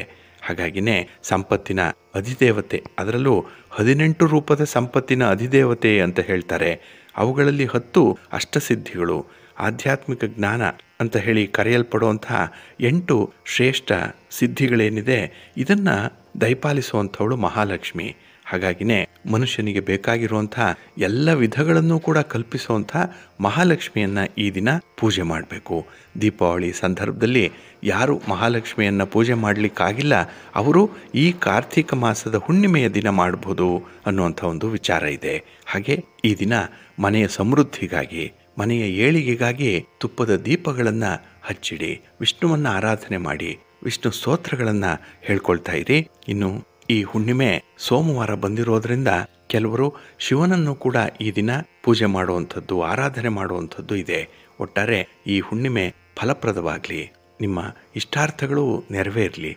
ಹಾಗಾಗಿ ನೀವು ಯಾವುದೇ ರೀತಿಯ ಪೂಜೆ ಪುನಸ್ಕಾರ, ವ್ರತಾದಿಗಳನ್ನು ಮಾಡಿದ್ರೂ ಕೂಡ ನಂಬಿಕೆಯಿಂದ ಮಾಡಿ, ನಿಷ್ಠೆಯಿಂದ ಮಾಡಿ ಭಗವಂತನ ಅನುಗ್ರಹ ತಮ್ಮೆಲ್ಲರಿಗೂ ಕೂಡ ಪ್ರಾಪ್ತಿಯಾಗತ್ತೆ. ಹಾಗೆ ನೀವು ಬಯಸಿದಂಥ ಫಲವನ್ನು ನಿಮ್ಮದಾಗಿಸಿಕೊಳ್ಳಿಕ್ಕೆ ಈ ದಿನ ಹುಣ್ಣಿಮೆಯನ್ನ ವಿಶೇಷ ರೀತಿಯಲ್ಲಿ ಈಗ ಹೇಳಿರುವಂತಹ ಪ್ರಕಾರದಲ್ಲಿ ಆಚರಣೆ ಮಾಡಿ ತಮಗೆಲ್ಲರಿಗೂ ಕೂಡ ಒಳ್ಳೆಯದಾಗತ್ತೆ. ಭಗವಂತನ ಅನುಗ್ರಹ ಪ್ರಾಪ್ತಿಯಾಗತ್ತೆ. ಪ್ರೀತಿಯ ಬಂಧುಗಳೇ, ಇನ್ನು ಮುಂದೆ ದ್ವಾದಶ ರಾಶಿಯವರ ಗೋಚಾರ ಫಲಗಳು ಹೇಗಿವೆ ನೋಡೋಣ ಬನ್ನಿ. ಮೊದಲಿಗೆ ಮೇಷರಾಶಿ. ಮೇಷರಾಶಿಯವರಿಗೆ ಈ ದಿನದಲ್ಲಿ ದ್ವಿತೀಯದಲ್ಲಿ ಚಂದ್ರ ಇರುವಂಥ ದಿನ. ಕುಟುಂಬ ಸ್ಥಾನದಲ್ಲಿ ಚಂದ್ರ ಇದ್ದಾನೆ. ಹಾಗಾಗಿನೇ ಈ ದಿನ ಕುಟುಂಬ ವಿದ್ಯಮಾನಗಳಿಂದ ಸ್ವಲ್ಪ ಒತ್ತಡಗಳು ಜಾಸ್ತಿ ಆಗುತ್ತೆ. ಅದರಲ್ಲೂ ಈ ದಿನ ದಾಕ್ಷಿಣ್ಯಕ್ಕೆ ಒಳಗಾಗಿ ಸ್ವಲ್ಪ ಆಪತ್ತನ್ನು ತಂದುಕೊಳ್ಳುವಂಥ ಸಾಧ್ಯತೆಗಳು ಕೂಡ ಇರುತ್ತೆ. ಹಾಗಾಗಿ ಇಷ್ಟವಿಲ್ಲದ ಕೆಲಸಗಳನ್ನು ಬಲವಂತಕ್ಕೆ ಮಾಡಲೇಬೇಕಾಗತ್ತೆ. ಈ ದಿನದಲ್ಲಿ. ಹಾಗೆ ಈ ದಿನ ನಿಮ್ಮ ವ್ಯಾಪಾರ ವ್ಯವಹಾರಗಳಲ್ಲಿ ನಿರೀಕ್ಷಿತ ರೀತಿಯಲ್ಲಿ ಫಲಿತಾಂಶಗಳು ಬರಲ್ಲ. ಇದು ಕೂಡ ಒಂದು ಬೇಸರವನ್ನು ತರಿಸುವಂಥದ್ದು. ಏಕೆಂದರೆ ಎಷ್ಟೆಲ್ಲ ಪ್ರಯತ್ನ ಮಾಡಿದ್ರು, ಇಷ್ಟೆಲ್ಲ ಎಫರ್ಟ್ ಹಾಕಿದ್ರೂ ಕೂಡ ಅದಕ್ಕೆ ಅನುಗುಣವಾದಂಥ ಒಂದು ಫಲ ಸಿಗ್ತಾ ಇಲ್ವಲ್ಲ ಅನ್ನುವಂಥ ಯೋಚನೆ ಮನಸ್ಸಿನ ಮೂಲೆಯಲ್ಲಿರುತ್ತೆ. ಹಾಗೆ ಈ ದಿನ ಒಂದು ಸಣ್ಣ ಪ್ರಮಾಣದಲ್ಲೂ ಕೂಡ ನಿಮ್ಮ ಆರೋಗ್ಯ ಸಮಸ್ಯೆ ನಿಮ್ಮನ್ನು ಬಾಧಿಸ್ತಾ ಇರುತ್ತೆ. ಹಾಗೆ ಈ ಮಾನಸಿಕವಾಗಿ ಈ ದಿನ ಅಷ್ಟೊಂದು ಉಲ್ಲಾಸಕರವಾದಂತಹ ದಿನ ಅಲ್ಲ. ಏನೋ ಒಂದು ಒತ್ತಡ, ಏನೋ ಒಂದು ಚಿಂತೆ ಮನಸ್ಸನ್ನು ಆವರಿಸ್ಕೊಂಡಿರುವಂಥದ್ದು. ಹಾಗಾಗಿ ನಾಲ್ಕು ಜನ ಸಂತೋಷವಾಗಿದ್ದಾಗಲೇ ಅದರಲ್ಲಿ ಭಾಗವಹಿಸಬೇಕು ಅನ್ನುವಂಥ ಒಂದು ಮನಸ್ಸು ಕೂಡ ನಿಮಗಿರಲ್ಲ. ಸ್ವಲ್ಪ ಒಂಟಿಯಾಗಿರಬೇಕು, ಏಕಾಂಗಿಯಾಗಿರಬೇಕು ಅನ್ನುವಂಥ ಒಂದು ವಿಚಾರ ಮನಸ್ಸಿನಲ್ಲಿರುತ್ತೆ. ಹಾಗೆ ಮನಕಾರಕನಾದಂಥ ಚಂದ್ರ ಈ ದಿನ ವಾಕ್ಸ್ಥಾನದಲ್ಲಿದ್ದಾನೆ. ಹಾಗಾಗಿನೇ ಮಾತು ಕೂಡ ಈ ದಿನ ಬಹಳ ವಿಚಾರಪೂರ್ವಕವಾಗಿರಲ್ಲ. ಅಡ್ಡಾದಿಡ್ಡಿಯಾಗಿ ಇರುವಂಥದ್ದು, ಅಪ್ರಬುದ್ಧವಾಗಿರುತ್ತೆ, ತಿಳುವಳಿಕೆ ಇಲ್ಲದವರು ಮಾತಾಡುವಂತೆ ಮಾತಾಡುವಂಥದ್ದು, ತೀರ್ಮಾನಗಳು ಕೂಡ ಅಷ್ಟೊಂದು ನಿಮಗೆ ವ್ಯವಸ್ಥಿತವಾಗಿರಲ್ಲ ಪ್ರಾಕ್ಟಿಕಲ್ ಆಗಿರಲ್ಲ ಒಟ್ಟಾರೆ ಈ ದಿನ ನಿಮಗೆ ಮಿಶ್ರ ಫಲಗಳಿರುತ್ತೆ. ಅದಕ್ಕಾಗಿಯೇ ಭಗವಂತನನ್ನು ಸದಾ ಸರ್ವದ ಆರಾಧನೆ ಮಾಡ್ತಾ ಇರಿ. ನಿಮ್ಮ ಇಷ್ಟ ದೇವರನ್ನು ಸ್ಮರಣೆ ಮಾಡಿಕೊಳ್ಳಿ. ವಿಷ್ಣು ತತ್ವ ಇರುವಂಥ ದೇವಾಲಯಕ್ಕೆ ಹೋಗಿ ಬನ್ನಿ. ದರ್ಶನ ಮಾಡಿ ಒಳ್ಳೆಯದಾಗುತ್ತೆ. ನಿಮ್ಮ ಅದೃಷ್ಟದ ಬಣ್ಣ, ಬಿಳುಪು, ಅದೃಷ್ಟದ ದಿಕ್ಕು, ಪೂರ್ವ ದಿಕ್ಕು, ಅದೃಷ್ಟ ಸಂಖ್ಯೆ ಮೂರು. ವೃಷಭ ರಾಶಿ. ವೃಷಭ ರಾಶಿಯವರಿಗೆ ಈ ದಿನ ಸಂತೋಷದ ದಿನ. ಚಂದ್ರ ನಿಮ್ಮ ರಾಶಿಯಲ್ಲಿರುವಂಥ ದಿನ. ಹಾಗಾಗಿನೇ ಈ ದಿನ ಯಾವುದೇ ಸಣ್ಣ ಪುಟ್ಟ ಸಮಸ್ಯೆಗಳಿದ್ದರೂ ಅದನ್ನು ಬಹಳ ಚೆನ್ನಾಗಿ ನಿಭಾಯಿಸ್ತೀರಿ. ಅಂತಹ ಸಮಸ್ಯೆಗಳಿಂದ ಹೊರಬರ್ತೀರಿ. ಇದು ನಿಮ್ಮ ಒಂದು ಗೌರವವನ್ನು ಕೂಡ ಹೆಚ್ಚಿಸುವಂಥ ಒಂದು ಪ್ರಯತ್ನವಾಗುತ್ತೆ. ಹಾಗೆ ಈ ದಿನ ನಿಮ್ಮ ಉದ್ಯೋಗ ಕ್ಷೇತ್ರದಲ್ಲಾಗಲಿ, ನಿಮ್ಮ ಒಂದು ವ್ಯಾಪಾರಿ ಕ್ಷೇತ್ರದಲ್ಲಾಗಲಿ ಇದ್ದಂತಹ ಸಮಸ್ಯೆಗಳಿಂದ ಹೊರಬರುವಂಥ ಸಾಧ್ಯತೆಗಳು ಕೂಡ ಇದೆ. ಅಡಚಣೆಗಳು ಕಡಿಮೆ ಈ ದಿನದಲ್ಲಿ. ಇನ್ನು ವಿಶೇಷವಾಗಿ ಈ ದಿನ ವ್ಯಾಪಾರ ವ್ಯವಹಾರಗಳು ತುಂಬ ಉತ್ಸಾಹದಾಯಕವಾಗಿರುತ್ತೆ. ತುಂಬ ಎನರ್ಜೆಟಿಕ್ ಆಗಿರ್ತೀರಿ ಈ ದಿನ. ಹಾಗಾಗಿನೇ ಹೊಸ ಹೊಸ ಕೆಲಸಗಳ ಬಗ್ಗೆ ತುಂಬ ಆಲೋಚನೆಗಳು ಬರುವಂತಹ ದಿನ. ಹಾಗೆ ಈ ದಿನದಲ್ಲಿ ದೀರ್ಘಕಾಲದಲ್ಲಿದ್ದಂಥ ವಿವಾದಗಳು ಬಗೆಹರಿಯುತ್ತೆ. ಇದು ನಿಮಗೆ ಅಡ್ವಾಂಟೇಜ್ ಆಗಿರುವಂಥ ಒಂದು ದಿನ. ಹಾಗೆ ಕುಟುಂಬ ಸದಸ್ಯರೊಂದಿಗೆ ಈ ದಿನ ದೇವರ ದರ್ಶನ ಮಾಡುವಂಥದ್ದು. ಹಾಗೆ ಆಧ್ಯಾತ್ಮಿಕ ವಿಚಾರಗಳಲ್ಲಿ ಹೆಚ್ಚು ನಿಮ್ಮನ್ನು ತೊಡಗಿಸ್ಕೊಳ್ಳುವಂಥದ್ದು, ದಾನ ಧರ್ಮಾದಿಗಳನ್ನು ಮಾಡುವಂಥ ವಿಚಾರಗಳು, ಇವೆಲ್ಲ ಈ ದಿನ ನಿಮ್ಮ ಮನಸ್ಸಿಗೆ ತುಂಬ ಸಂತೋಷವನ್ನು ಕೊಡುತ್ತೆ. ಹಾಗೆ ಈ ದಿನ ಒಂದು ವ್ಯಾಪಾರದಲ್ಲಿ ಬೆಳವಣಿಗೆ ಹೊಂದುವಂಥ ಒಂದು ಒಳ್ಳೆಯ ಅವಕಾಶವನ್ನು ನೀವು ಪಡ್ಕೊಳ್ತೀರಿ. ಉದ್ಯೋಗ ಕ್ಷೇತ್ರದಲ್ಲಿ ಮೇಲಧಿಕಾರಿಗಳ ಬೆಂಬಲ ನಿಮಗೆ ಬಹಳ ಚೆನ್ನಾಗಿ ಈ ದಿನ ಇರುತ್ತೆ. ಹಾಗೆ ವಿಶೇಷವಾಗಿ ನಿಮ್ಮ ಆಸೆ, ನಿಮ್ಮ ಬಯಕೆಗಳನ್ನು ಈಡೇರಿಸ್ಕೊಳ್ಳಿಕ್ಕೆ ಅತ್ಯುತ್ತಮವಾದಂತಹ ದಿನ. ಅದರಲ್ಲೂ ನಿಮ್ಮ ವ್ಯಾಪಾರದಲ್ಲಿ ಒಂದು ಸಮೃದ್ಧಿಯನ್ನು ಕಾಣ್ತೀರಿ. ಅದಕ್ಕಾಗಿಯೇ ಈ ದಿನ ಮಹಾಲಕ್ಷ್ಮಿಯನ್ನು ಆರಾಧನೆ ಮಾಡಿ. ಇನ್ನು ವಿಶೇಷವಾಗಿ ಲಕ್ಷ್ಮೀ ನಾರಾಯಣರನ್ನಾಗಲಿ, ಲಕ್ಷ್ಮೀ ವೆಂಕಟೇಶ್ವರ ಸ್ವಾಮಿಯನ್ನಾಗಲಿ ಈ ದಿನ ಪ್ರಾರ್ಥನೆ ಮಾಡಿಕೊಂಡ್ರೆ ನಿಮ್ಮ ಒಂದು ಪ್ರಾರ್ಥನೆಯ ಫಲ ಈಡೇರುತ್ತೆ, ಕುಟುಂಬಕ್ಕೆ ಒಳ್ಳೆಯದಾಗುತ್ತೆ. ಈ ದಿನ ನಿಮ್ಮ ಮನೆ ದೇವರಿಗೆ ತುಪ್ಪದ ದೀಪಗಳನ್ನು ಹಚ್ಚಿಟ್ಟು ನೈವೇದ್ಯ ಸಮರ್ಪಣೆ ಮಾಡಿ ಒಳ್ಳೆಯದಾಗುತ್ತೆ. ನಿಮ್ಮ ಅದೃಷ್ಟದ ಬಣ್ಣ ತಿಳಿ ಹಸಿರು, ಅದೃಷ್ಟದ ದಿಕ್ಕು, ಉತ್ತರ ದಿಕ್ಕು, ಅದೃಷ್ಟ ಸಂಖ್ಯೆ ಒಂದು. ಮಿಥುನ ರಾಶಿ. ಮಿಥುನ ರಾಶಿಯವರಿಗೆ ಈ ದಿನ ವ್ಯಯಸ್ಥಾನದಲ್ಲಿ ಚಂದ್ರ ಇರುವಂಥ ದಿನ. ಅದಕ್ಕಾಗಿಯೇ ಈ ದಿನದ ವ್ಯವಹಾರಗಳಲ್ಲಿ ಸ್ವಲ್ಪ ಮಟ್ಟಿನ ಬೇಸರ ಇರುವಂಥದ್ದು. ಇನ್ನು ಫಲಿತಾಂಶಗಳಲ್ಲಿ ಮಿಶ್ರ ಫಲ ಇರುವಂಥದ್ದು. ಹಾಗಾಗಿಯೇ ಅಷ್ಟೊಂದು ಫಲಪ್ರದವಾಗಿಲ್ಲ. ಇನ್ನು ನಿಮ್ಮ ಪ್ರಯಾಣ ಕೂಡ ಈ ದಿನ ಮನಸ್ಸಿಗೆ ಸ್ವಲ್ಪ ಕಸಿವಿಸಿಯನ್ನು ಉಂಟು ಮಾಡುವಂಥದ್ದು ಹಾಗೆ ಪ್ರಯಾಣದ ಉದ್ದೇಶಗಳು ಕೂಡ ಈಡೇರಲ್ಲ, ಅಷ್ಟಕ್ಕಷ್ಟೇ ಇರುವಂಥದ್ದು. ಹಾಗೆ ಈ ದಿನ ನಿಮ್ಮ ಉದ್ಯೋಗ ಕ್ಷೇತ್ರದಲ್ಲಿ ಅಧಿಕಾರಗಳ ಜೊತೆಯಲ್ಲಿ ಕೆಲವೊಂದು ಸಮಸ್ಯೆಗಳನ್ನು ಮಾಡಿಕೊಳ್ಳುವಂಥದ್ದು ಕೂಡ ಇದೆ. ಇಲ್ಲಿ ಅಭಿಪ್ರಾಯ ಭೇದ ಇರ್ಬೋದು, ಅಥವಾ ನಿಮ್ಮ ಬಗ್ಗೆ ಇರುವಂಥ ಒಂದು ಅಪನಂಬಿಕೆ ಇರ್ಬೋದು, ಒಂದು ಓವರ್ ಕಾನ್ಫಿಡೆನ್ಸ್ ಇರ್ಬೋದು, ನಿರೀಕ್ಷೆಗಳು ಜಾಸ್ತಿ ಇರ್ಬೋದು. ಹೀಗಾಗಿ ಬೇರೆ ಬೇರೆ ಕಾರಣಗಳಿಗಾಗಿ ಈ ದಿನ ನಿಮ್ಮ ಉದ್ಯೋಗ ಕ್ಷೇತ್ರದಲ್ಲೂ ಕೂಡ ಮನಸ್ಸಿಗೆ ಸಮಾಧಾನ ಇರಲ್ಲ. ಹಾಗೆ ಈ ದಿನ ಕೆಲವೊಂದು ಸುಲಭದ ಕೆಲಸಗಳಿದೆ. ಆದರೆ ತುಂಬ ಕಷ್ಟಪಡ್ತೀರಿ. ಕೆಲಸ ಪೂರ್ಣ ಆಗಬೇಕು ಅಂತ ಹೇಳಿದ್ರೆ ಸಾಕಷ್ಟು ಎಫರ್ಟ್ ಹಾಕಲೇಬೇಕಾಗತ್ತೆ ಈ ದಿನ. ಇದಕ್ಕಾಗಿ ಸಮಯ ವ್ಯರ್ಥ ಆಗುತ್ತೆ. ಕೆಲವೊಮ್ಮೆ ಹಣದ ವ್ಯರ್ಥ ಕೂಡ ಆಗುವಂಥದ್ದು. ಅಂದರೆ ಈ ಬೇಡದ ಖರ್ಚುಗಳು ಈ ದಿನ ಜಾಸ್ತಿ ಆಗುವಂಥದ್ದು ಇರುತ್ತೆ. ಹಾಗೆ ಈ ದಿನ ಪ್ರಮುಖವಾದಂಥ ವ್ಯವಹಾರಗಳಲ್ಲಿ ಸ್ವಲ್ಪ ಅಡೆತಡೆಗಳು ಇರುವಂಥದ್ದು.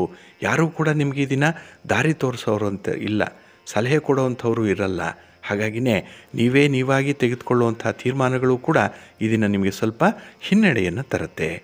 ಇನ್ನು ನಿಮ್ಮ ಸಂಗಾತಿ, ನಿಮ್ಮ ಪ್ರೀತಿ ಪಾತ್ರರ ಜೊತೆಯಲ್ಲೂ ಕೂಡ ಅನಿರೀಕ್ಷಿತವಾದಂತಹ ವಿವಾದಗಳು ಉಂಟಾಗುವಂಥದ್ದು ಕೂಡ ಇರುತ್ತೆ. ಸ್ವಲ್ಪ ಎಚ್ಚರಿಕೆ ಇರಲಿ. ಏನೇ ಆದರೂ ಈ ದಿನ ನಿಮ್ಮ ಆಡಿರುವ ಮಾತುಗಳೇನಿದೆ ಅದನ್ನು ಉಳಿಸ್ಕೊಳ್ಬೇಕು. ಯಾರಿಗಾದರೂ ಭರವಸೆಗಳನ್ನು ಕೊಟ್ಟಿದ್ದರೆ ಅದನ್ನು ಈಡೇರಿಸುವಂಥ ಒಂದು ಪ್ರಯತ್ನವನ್ನು ಮಾಡಬೇಕು. ಹಾಗೆ ಈ ದಿನ ನಿಮ್ಮ ಸ್ನೇಹಿತರ ಕಷ್ಟಕ್ಕೆ ನೀವಿರ್ತೀರಿ, ಆದರೆ ನಿಮ್ಮ ಕಷ್ಟಕ್ಕೆ ಈ ದಿನ ಎಷ್ಟು ಸ್ನೇಹಿತರಿದ್ದಾರೆ ಅನ್ನೋವಂಥದ್ದನ್ನು ನೀವೇ ಲೆಕ್ಕಾಚಾರ ಮಾಡಿಕೊಳ್ಳುವಂಥ ಒಂದು ದಿನ, ಆತ್ಮಾವಲೋಕನ ಮಾಡಿಕೊಳ್ಳುವಂಥ ಒಂದು ವಿಶೇಷ ಸಂದರ್ಭ ಇದು. ಹಾಗೆ ಈ ದಿನ ನೀವು ಶಿವಸ್ತೋತ್ರವನ್ನು ಹೇಳ್ಕೊಳ್ಳಿ, ಶಿವನಾಮ ಸ್ಮರಣೆ ಮಾಡಿ, ಶಿವನಿಗೆ ತುಪ್ಪದ ದೀಪಗಳನ್ನು ಹಚ್ಚಿಟ್ಟು ಈ ದಿನ ನಿಮ್ಮ ಒಂದು ಸಂಕಷ್ಟಗಳನ್ನಾಗಲಿ ಅಥವಾ ನಿಮ್ಮಲ್ಲಿ ಇರುವಂಥ ನೋವುಗಳನ್ನಾಗಲಿ ಶಿವನ ಮುಂದೆ ಈ ದಿನ ನಿವೇದನೆ ಮಾಡಿಕೊಳ್ಳಿ. ಒಳ್ಳೆಯ ಫಲ ನಿಮಗೆ ಸಿಕ್ಕತ್ತೆ. ಅಂತಹ ಸಮಸ್ಯೆಗಳು ಬಹಳ ಬೇಗ ನಿವಾರಣೆಯಾಗುತ್ತೆ. ನಿಮ್ಮ ಅದೃಷ್ಟದ ಬಣ್ಣ, ತಿಳಿ ಹಸಿರು, ಅದೃಷ್ಟದ ದಿಕ್ಕು, ಈಶಾನ್ಯ ದಿಕ್ಕು, ಅದೃಷ್ಟ ಸಂಖ್ಯೆ ಐದು. ಕರ್ಕಾಟಕ ರಾಶಿ. ಕರ್ಕಾಟಕ ರಾಶಿಯವರಿಗೆ ಈ ದಿನ ಲಾಭಸ್ಥಾನದಲ್ಲಿ ಚಂದ್ರ ಇರುವಂಥ ದಿನ.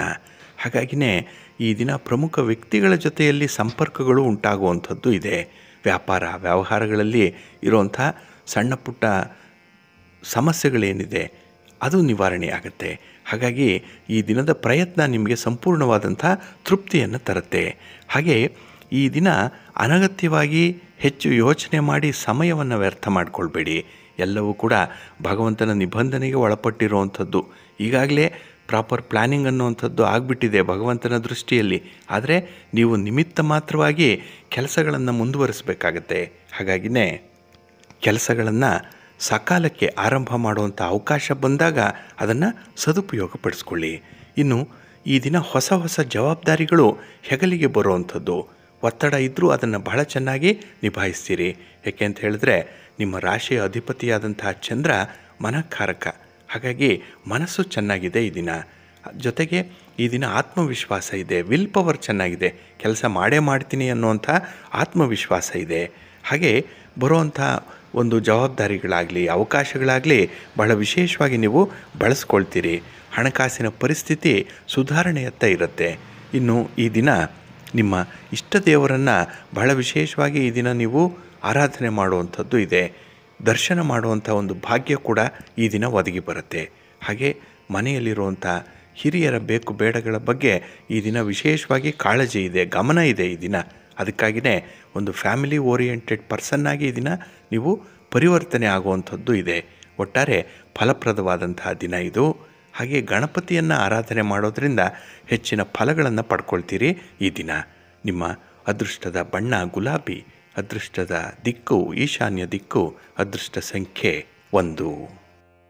ಸಿಂಹರಾಶಿ. ಸಿಂಹರಾಶಿಯವರಿಗೆ ಈ ದಿನ ಉದ್ಯೋಗ ಸ್ಥಾನದಲ್ಲಿ ಚಂದ್ರ ಇರುವಂಥ ದಿನ.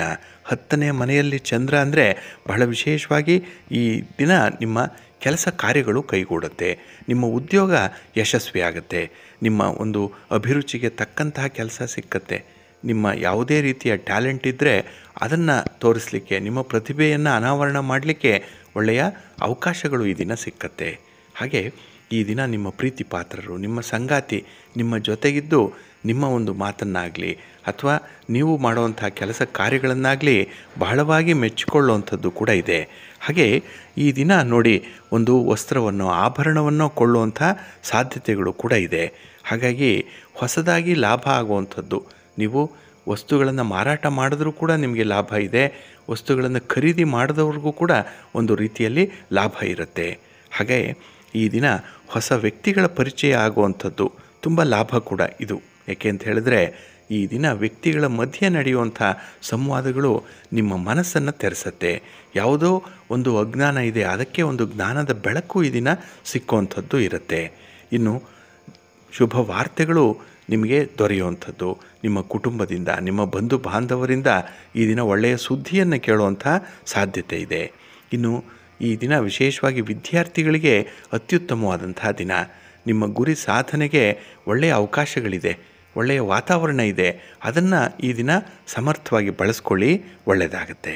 ಹಾಗೆ ಆರೋಗ್ಯದಲ್ಲಿರುವಂಥ ಸಮಸ್ಯೆಗಳು ಈ ದಿನ ನಿವಾರಣೆಯಾಗುವಂಥದ್ದು ಕೂಡ ಇರುತ್ತೆ. ಹಾಗಾಗಿನೇ ಕೆಲಸ ಮಾಡುವಂಥ ಉತ್ಸಾಹ ಇಮ್ಮಡಿಯಾಗಿದೆ ಈ ದಿನದಲ್ಲಿ. ಆದರೆ ಯುವಕರು, ಯುವತಿಯರು ಈ ದಿನ ನಿಮ್ಮ ಒಂದು ಆಸೆಗೆ ಸ್ವಲ್ಪ ಚೌಕಟ್ಟನ್ನು ಹಾಕ್ಕೊಳ್ಳಿ, ಒಂದು ಮಿತಿ ಇರಲಿ. ಹಾಗೆ ಈ ದಿನ ನಿಮ್ಮ ಮನೆ ದೇವರನ್ನು ಸ್ಮರಣೆ ಮಾಡ್ತಾಯಿರಿ ಭಕ್ತಿಯಿಂದ ಈ ದಿನ ವಿಷ್ಣು ಸ್ತೋತ್ರವನ್ನು ಹೇಳ್ಕೊಳ್ಳಿ, ವಿಷ್ಣು ಸಹಸ್ರನಾಮ ಹೇಳ್ಕೊಳ್ಳಿ, ಒಳ್ಳೆಯದಾಗತ್ತೆ. ನಿಮ್ಮ ಅದೃಷ್ಟದ ಬಣ್ಣ ಕೆಂಪು, ಅದೃಷ್ಟದ ದಿಕ್ಕು ಉತ್ತರ ದಿಕ್ಕು, ಅದೃಷ್ಟ ಸಂಖ್ಯೆ ಒಂದು. ಕನ್ಯಾ ರಾಶಿ. ಕನ್ಯಾ ರಾಶಿಯವರಿಗೆ ಈ ದಿನದಲ್ಲಿ ಒಂಬತ್ತರ ಸ್ಥಾನದಲ್ಲಿ ಚಂದ್ರ ಇದ್ದಾನೆ. ನವಮ ಸ್ಥಾನ. ಹಾಗಾಗಿನೇ ಈ ದಿನ ಕೆಲಸ ಕಾರ್ಯಗಳಲ್ಲಿ ಸ್ವಲ್ಪ ವಿಘ್ನಗಳು ಜಾಸ್ತಿ ಇರುವಂಥದ್ದು. ಹಾಗೆ ಎಷ್ಟೇ ದುಡಿದ್ರೂ ಕೂಡ ಖರ್ಚು ಹೆಚ್ಚಾಗ್ಬಿಡುತ್ತೆ. ಕೈಯಲ್ಲಿ ಹಣ ಉಳಿಯಲ್ಲ. ನಿಮ್ಮದು ಒಡಕು ಕೈ ಇರುವಂಥದ್ದು. ಹಾಗಾಗಿನೇ ಎಷ್ಟು ಕಷ್ಟಪಟ್ಟು ಉಳಿತಾಯ ಮಾಡ್ತಿರೋ ಆ ಉಳಿತಾಯದ ಹಣ ಕೂಡ ಈ ದಿನ ತೆಗೆಯುವಂಥ ಒಂದು ಪರಿಸ್ಥಿತಿ ಬರುತ್ತೆ. ಹಾಗಾಗಿನೇ ನಿಮ್ಮ ಒಂದು ಯೋಜನೆಗಳೇನಿದೆ, ಅದು ನಿಮ್ಮ ಮಿತಿಯಲ್ಲಿ ಇರಬೇಕು, ಒಂದು ಚೌಕಟ್ಟಿನಲ್ಲೇ ಇರಲಿ. ಏಕೆಂದರೆ ಆದಾಯಕ್ಕಿಂತ ಖರ್ಚು ಹೆಚ್ಚಾಗಬಾರ್ದು. ಹಾಗಾಗಿ ಈ ದಿನ ನಿಮ್ಮ ಆದಾಯ ಎಷ್ಟಿದೆ, ನಿಮ್ಮ ವೆಚ್ಚಗಳು ಯಾವ್ಯಾವುದು ಅನ್ನುವಂಥದ್ರ ಬಗ್ಗೆ ಒಂದು ಲೆಕ್ಕಾಚಾರ ಮಾಡಿಕೊಳ್ಳಿ. ಅದರಲ್ಲೂ ಬುಧ ಈ ದಿನ ಧನುರಾಶಿಗೆ ಪ್ರವೇಶ ಮಾಡುವಂತಹ ಸಂದರ್ಭದಲ್ಲಿ ಬಹಳ ವಿಶೇಷವಾಗಿ ನೀವು ವ್ಯಾಪಾರದ ಬಗ್ಗೆ ಗಮನ ಕೊಡಬೇಕು. ಇನ್ನು ವ್ಯಾಪಾರಸ್ಥರು, ವರ್ತಕರು ಯಾವುದೇ ರೀತಿಯ ಇನ್ವೆಸ್ಟ್ಮೆಂಟ್ ಮಾಡಬೇಕು, ವ್ಯಾಪಾರವನ್ನು ವಿಸ್ತರಣೆ ಮಾಡಬೇಕು ಅನ್ನುವಂಥ ಒಂದು ಅಭಿಲಾಷೆ ಇದ್ದರೆ ಅಂಥ ಪ್ರಯತ್ನದಲ್ಲಿದ್ದರೆ ಸ್ವಲ್ಪ ಎಚ್ಚರಿಕೆಯಿಂದ ಮುಂದುವರಿರಿ. ತಜ್ಞರ ಒಂದು ಸಲಹೆಯನ್ನು ಪಡ್ಕೊಂಡು ಮುಂದುವರಿಯುವಂಥದ್ದು ಬಹಳ ಮುಖ್ಯ. ಹಾಗೆ ಈ ದಿನ ಕುಟುಂಬ ಸದಸ್ಯರ ಜೊತೆಯಲ್ಲಿ ಅನಿರೀಕ್ಷಿತವಾದಂಥ ವಿವಾದಗಳು ಕೂಡ ಉಂಟಾಗುವಂಥದ್ದು ಇರುತ್ತೆ. ಸಣ್ಣ ಪುಟ್ಟ ವಿಚಾರಗಳಿಗೆ, ಮಾತಿಗೆ ಮಾತನ್ನು ಬೆಳೆಸುವಂಥದ್ದು ಇರುತ್ತೆ ಸ್ವಲ್ಪ ಎಚ್ಚರಿಕೆ ಇರಲಿ. ಹಾಗೆ ಈ ಪ್ರೀತಿ ಪ್ರೇಮದ ವಿಚಾರದಲ್ಲಿ ಸ್ವಲ್ಪ ನಿರುತ್ಸಾಹಗಳು ಹೆಚ್ಚಾಗಿರುವಂಥದ್ದು. ಯಾವುದೇ ಕೆಲಸ ಮಾಡಲಿಕ್ಕೂ ಅಷ್ಟೊಂದು ಎನರ್ಜಿ ಇಲ್ಲ, ಉತ್ಸಾಹ ಇಲ್ಲ.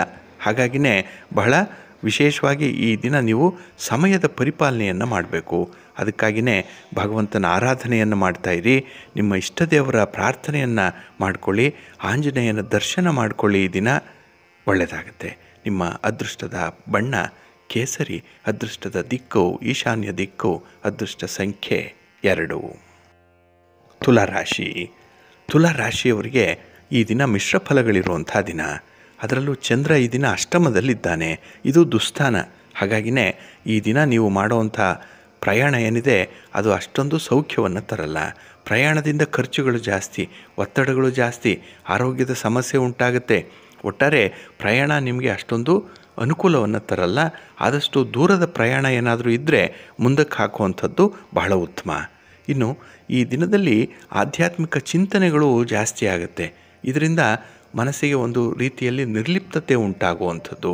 ಯಾವುದೂ ಬೇಡಪ್ಪ ಅನ್ನುವಂಥ ಒಂದು ವಿಚಾರ ಮನಸ್ಸಿಗೆ ಒಂದು ಹಂತಕ್ಕೆ ಬರುವಂಥದ್ದು ಕೂಡ ಇರುತ್ತೆ. ಹಾಗೆ ಈ ದಿನ ವ್ಯಾಪಾರ, ವ್ಯವಹಾರಗಳು ನಿಧಾನವಾಗಿ ನಡೆಯುತ್ತೆ. ಹಾಗೆ ಕೆಲವೊಂದು ತೀರ್ಮಾನಗಳನ್ನು ಕೈಗೊಳ್ಳಿಕ್ಕೂ ಕೂಡ ನೀವು ಅಸಮರ್ಥರಾಗಿಬಿಡ್ತೀರಿ. ಎಷ್ಟೋ ಬುದ್ಧಿವಂತಿಕೆ ಇದೆ, ಎಷ್ಟೋ ಟ್ಯಾಲೆಂಟ್ ಇದೆ, ಅನುಭವ ಇದೆ, ಆದರೂ ಅದು ಯಾವುದೂ ಕೂಡ ಈ ದಿನ ನಿಮ್ಮ ನೆರವಿಗೆ ಬರಲ್ಲ. ಹಾಗಾಗಿನೇ ನೀವು ತೆಗೆದುಕೊಳ್ಳುವಂಥ ತೀರ್ಮಾನದಿಂದ ಎಡವಟ್ಟಾಗುತ್ತೆ. ಇಲ್ಲಿ ಬಹಳ ವಿಶೇಷವಾಗಿ ನೀವು ರಾತ್ರಿ ನೋಡಿದ ಬಾವಿಗೆ ಹಗಲು ಬಿದ್ದಂತಾಗ್ಬಿಡುತ್ತೆ. ಅಂಥ ಒಂದು ಪರಿಸ್ಥಿತಿ ಈ ದಿನ ಬರುವಂಥದ್ದಿದೆ. ಸ್ವಲ್ಪ ಎಚ್ಚರಿಕೆ ಇರಲಿ. ಹಾಗೆ ಕೆಲವು ವಿಚಾರಗಳಲ್ಲಿ ನಿಮ್ಮ ಸ್ನೇಹಿತರಿಂದ ಒತ್ತಡ ಕೂಡ ಇರುತ್ತೆ. ಏನೋ ಒಂದು ಕಂಪಲ್ಷನ್ ಇರುವಂಥದ್ದು. ಹಾಗಾಗಿ ಗೆಳೆತನವನ್ನು ಬಿಡಲಿಕ್ಕಾಗಲ್ಲ, ಅಂಥ ಕೆಲಸಗಳನ್ನು ಮಾಡಲಿಕ್ಕಾಗಲ್ಲ ಅನ್ನುವಂಥ ಒಂದು ಸ್ಥಿತಿಯಲ್ಲಿ ಇರ್ತೀರಿ. ಹಾಗೆ ಈ ದಿನ ಉದರ ಸಂಬಂಧಿತವಾದಂತಹ ಆರೋಗ್ಯ ಸಮಸ್ಯೆಗಳು ನಿಮ್ಮನ್ನು ಕಾಡುವಂಥದ್ದು ಇದೆ. ಹಾಗಾಗಿ ಆರೋಗ್ಯದ ಕಡೆ, ನಿಮ್ಮ ಆಹಾರ ವಿಹಾರಾದಿಗಳ ಕಡೆ ಸ್ವಲ್ಪ ಗಮನ ಕೊಡಿ. ಇನ್ನು ವಿಶೇಷವಾಗಿ ಮನೆಯಲ್ಲಿರುವಂಥ ಹಿರಿಯರ ಆರೋಗ್ಯದ ಕಡೆ ತುಂಬ ಕಾಳಜಿಯನ್ನು ವಹಿಸಬೇಕಾಗುತ್ತೆ ಈ ದಿನದಲ್ಲಿ. ನಿಮ್ಮ ಮಕ್ಕಳ ಬಗ್ಗೆ ಸ್ವಲ್ಪ ನಿಗಾ ಇಡಿ. ಇನ್ನು ನಿಮ್ಮನ್ನು ಆಶಾವಾದಿಯಾಗಿಸುವಂತಹ ಸನ್ನಿವೇಶ ಬಂದರೆ ಯಾಮಾರಬೇಡಿ ಅದನ್ನು ಉಪಯೋಗ ಮಾಡಿಕೊಳ್ಳಿ. ನಿಮ್ಮ ಮನೆ ದೇವರನ್ನು ಸ್ಮರಣೆ ಮಾಡ್ಕೊಳ್ತಾ ಇರಿ. ಹಾಗೆ ಲಕ್ಷ್ಮೀ ವೆಂಕಟೇಶ್ವರ ಸ್ವಾಮಿಯ ಪ್ರಾರ್ಥನೆ ಮಾಡ್ಕೊಳ್ಳಿ, ದರ್ಶನ ಮಾಡ್ಕೊಳ್ಳಿ ಈ ದಿನ. ಮಹಾಲಕ್ಷ್ಮಿ ಆರಾಧನೆ ಮಾಡಿ ಒಳ್ಳೆಯದಾಗುತ್ತೆ ನಿಮ್ಮ ಅದೃಷ್ಟದ ಬಣ್ಣ, ಕೆಂಪು, ಅದೃಷ್ಟದ ದಿಕ್ಕು, ಈಶಾನ್ಯ ದಿಕ್ಕು, ಅದೃಷ್ಟ ಸಂಖ್ಯೆ ಒಂಬತ್ತು. ವೃಶ್ಚಿಕ ರಾಶಿ.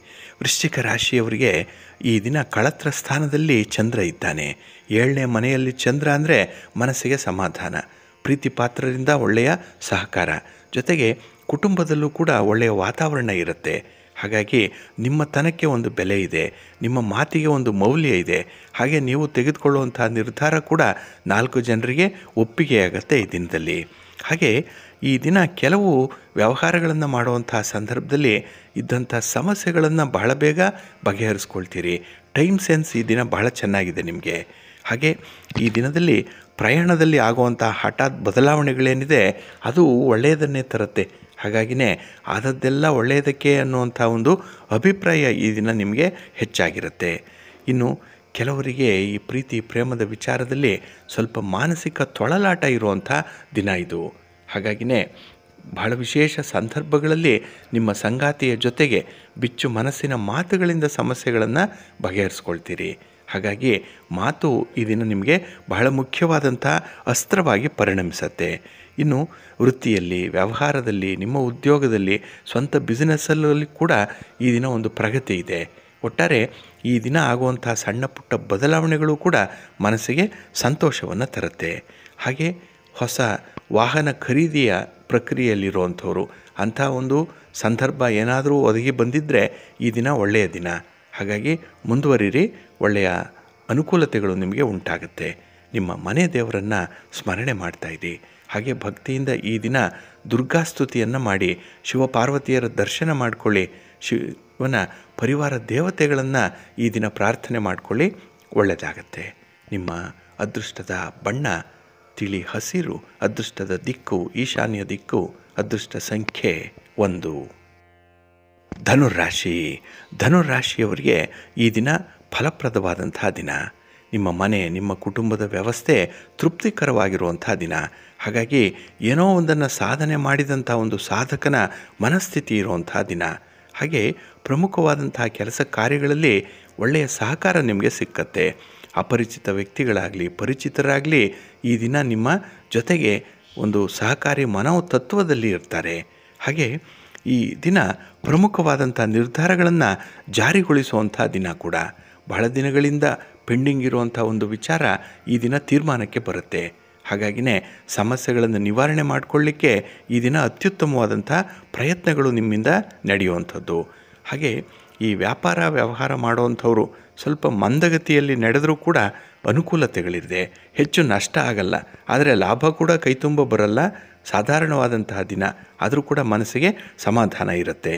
ಇನ್ನು ಈ ದಿನ ನಿಮ್ಮ ಒಡ ಹುಟ್ಟಿದವರ ಜೊತೆಯಲ್ಲಿ ಈ ಸ್ಥಿರಾಸ್ತಿಗೆ ಸಂಬಂಧಪಟ್ಟಂತಹ ವಿಚಾರಗಳಲ್ಲಿ ಒಂದು ಒಪ್ಪಂದವನ್ನು ಮಾಡಿಕೊಳ್ಳುವಂಥದ್ದು ಇದೆ. ಏನೋ ಒಂದು ಅಗ್ರಿಮೆಂಟ್ ಇರ್ಬೋದು, ಒಂದು ಕಾಮನ್ ಅಂಡರ್ಸ್ಟ್ಯಾಂಡಿಂಗಿಗೆ ಬರ್ಬೋದು, ಅಥವಾ ಒಂದು ಸೆಟ್ಲ್ಮೆಂಟ್ ವಿಚಾರದಲ್ಲೂ ಕೂಡ ಈ ದಿನ ನಿಮಗೆ ಅನುಕೂಲತೆಗಳಿರುತ್ತೆ. ಹಾಗೆ ಈ ದಿನದಲ್ಲಿ ಮನೆಯ ಹೊರಗೆ ನಿಮಗೆ ತುಂಬ ಅನುಕೂಲ ಇದೆ. ಮನೆಯ ಒಳಗೆ ಸ್ವಲ್ಪ ಒತ್ತಡ ಇದ್ದರೂ ಕೂಡ ಚೆನ್ನಾಗಿ ನಿಭಾಯಿಸ್ತೀರಿ. ನಿಮ್ಮ ಟ್ಯಾಲೆಂಟು, ನಿಮ್ಮ ಪ್ರತಿಭೆ ಈ ದಿನ ನಾಲ್ಕು ಜನರಿಗೆ ತಿಳಿಯುವಂಥ ಒಂದು ಸನ್ನಿವೇಶ ಇದೆ. ಹಾಗಾಗಿನೇ ಈ ದಿನ ನಿಮಗೆ ವಿಶೇಷವಾಗಿ ಎಲ್ಲ ಕಡೆಯಿಂದ ಕೂಡ ಸಮೃದ್ಧಿಯನ್ನು ತರುವಂಥದ್ದು. ಧನ ಧಾನ್ಯಗಳಾಗಲಿ ಅಥವಾ ವಿಶೇಷವಾಗಿ ಆರೋಗ್ಯದ ಬಗ್ಗೆ ಆಗಲಿ ಈ ದಿನ ತೃಪ್ತಿಕರವಾದಂತಹ ಒಂದು ದಿನವಾಗುತ್ತೆ. ನಿಮ್ಮ ಇಷ್ಟ ದೇವರನ್ನು ಆರಾಧನೆ ಮಾಡ್ತಾಯಿರಿ ಹಾಗೆ ಭಕ್ತಿಯಿಂದ ಈ ದಿನ ಮಹಾಲಕ್ಷ್ಮಿ ಸ್ತೋತ್ರವನ್ನು ಹೇಳ್ಕೊಳ್ಳಿ. ಅಮ್ಮನವರನ್ನು ಈ ದಿನ ಸ್ಮರಣೆ ಮಾಡಿಕೊಳ್ಳಿ. ತುಳಸಿ ಪೂಜೆಯನ್ನು ಮಾಡಿ ಒಳ್ಳೆಯದಾಗತ್ತೆ. ನಿಮ್ಮ ಅದೃಷ್ಟದ ಬಣ್ಣ, ತಿಳಿ ಹಸಿರು, ಅದೃಷ್ಟದ ದಿಕ್ಕು, ಉತ್ತರ ದಿಕ್ಕು, ಅದೃಷ್ಟ ಸಂಖ್ಯೆ ಒಂದು. ಮಕರ ರಾಶಿ. ಮಕರ ರಾಶಿಯವರಿಗೆ ಈ ದಿನ ಪಂಚಮ ಸ್ಥಾನದಲ್ಲಿ ಚಂದ್ರ ಇರುವಂಥ ದಿನ.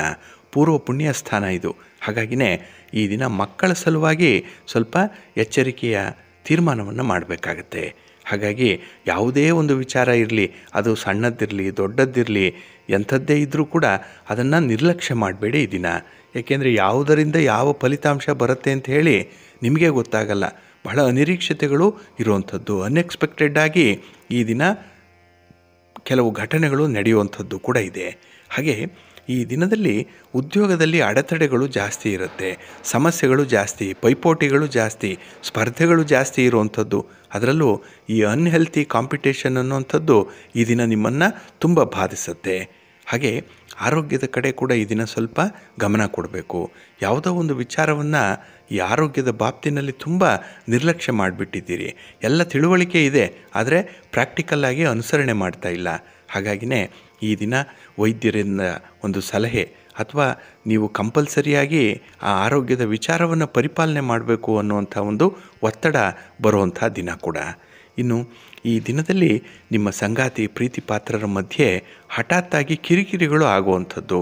ಹಾಗಾಗಿ ಮನಸ್ಸಿಗೆ ಸಮಾಧಾನ ಇಲ್ಲ. ಏತಿ ಅಂದರೆ ಪ್ರೇತಿ ಅನ್ನುವಂಥ ಒಂದು ಸನ್ನಿವೇಶ ಉದ್ಭವ ಆಗಿಬಿಡುತ್ತೆ. ಸ್ವಲ್ಪ ಎಚ್ಚರಿಕೆಯಿಂದ ನಿಮ್ಮ ವಾದ ವಿವಾದಗಳು ಇರಬೇಕು. ನಿಮ್ಮ ಮಾತನ್ನು ಆದಷ್ಟು ನಿಯಂತ್ರಣದಲ್ಲಿ ಇಟ್ಕೊಳ್ಳಿ ಹಾಗೆ ಈ ದಿನ ನಿಮ್ಮ ಸ್ನೇಹಿತರ ಜೊತೆಯಲ್ಲಿ ಯಾವುದೇ ವ್ಯವಹಾರಗಳಾಗಲಿ, ಯಾವುದೇ ಪ್ರಯಾಣಗಳನ್ನಾಗಲಿ ಮಾಡೋದಿದ್ದರೆ ಸ್ವಲ್ಪ ಜಾಗ್ರತೆ. ಏಕೆಂದರೆ ಸ್ನೇಹಿತರ ಆಯ್ಕೆ ಕೂಡ ಬಹಳ ಮುಖ್ಯವಾಗಿ ಈ ದಿನ ನೀವು ಪರಿಗಣಿಸಬೇಕಾಗತ್ತೆ. ನಿಮ್ಮ ಆದಾಯ, ನಿಮ್ಮ ವ್ಯಯ ಇದರ ಬಗ್ಗೆ ಲೆಕ್ಕಾಚಾರ ಇಟ್ಕೊಳ್ಳಿ. ಈ ದಿನದಲ್ಲಿ ಸ್ವಲ್ಪ ಕ್ಯಾಲ್ಕುಲೇಟಿವ್ ಆಗಿರಿ ನಿಮ್ಮ ಮನೆ ದೇವರನ್ನು ಸ್ಮರಣೆ ಮಾಡ್ಕೊಳ್ಳಿ. ನವಗ್ರಹ ಸ್ತೋತ್ರವನ್ನು ಹೇಳ್ಕೊಳ್ಳಿ. ನವಗ್ರಹಗಳ ದರ್ಶನ ಮಾಡ್ಕೊಳ್ಳಿ.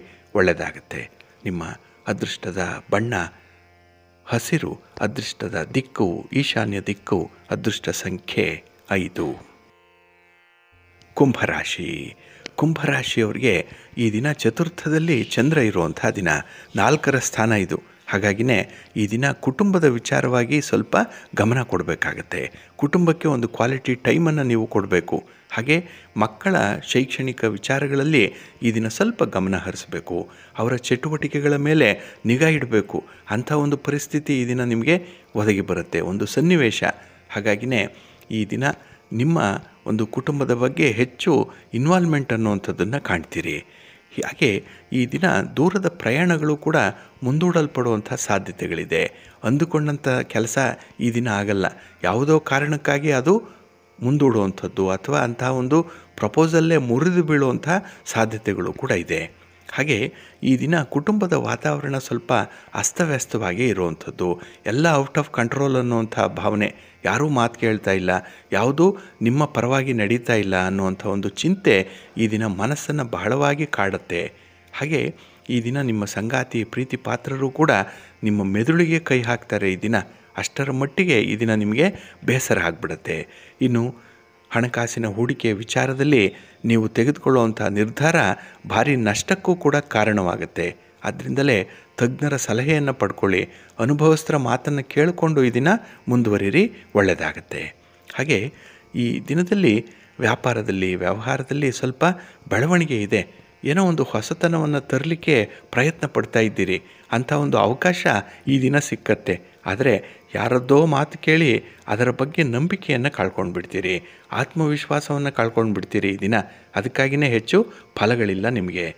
ಹಾಗಾಗಿ ಈ ದಿನ ನಿಮ್ಮ ಪ್ರಯತ್ನಕ್ಕೆ ಹೆಚ್ಚು ಫಲ ಸಿಗಬೇಕು ಅಂತ ಹೇಳಿದ್ರೆ ನಿಮ್ಮ ಇಷ್ಟ ದೇವರನ್ನು, ನಿಮ್ಮ ಮನೆ ದೇವರನ್ನು ಸ್ಮರಣೆ ಮಾಡ್ತಾಯಿರಿ ಭಕ್ತಿಯಿಂದ ಈ ದಿನ ನೀವು ಶಿವಪಾರ್ವತಿಯರ ದರ್ಶನ ಮಾಡಿ, ಶಿವಸ್ತೋತ್ರವನ್ನು ಹೇಳ್ಕೊಳ್ಳಿ, ಗಣಪತಿಯನ್ನು ಪ್ರಾರ್ಥನೆ ಮಾಡ್ಕೊಳ್ಳಿ.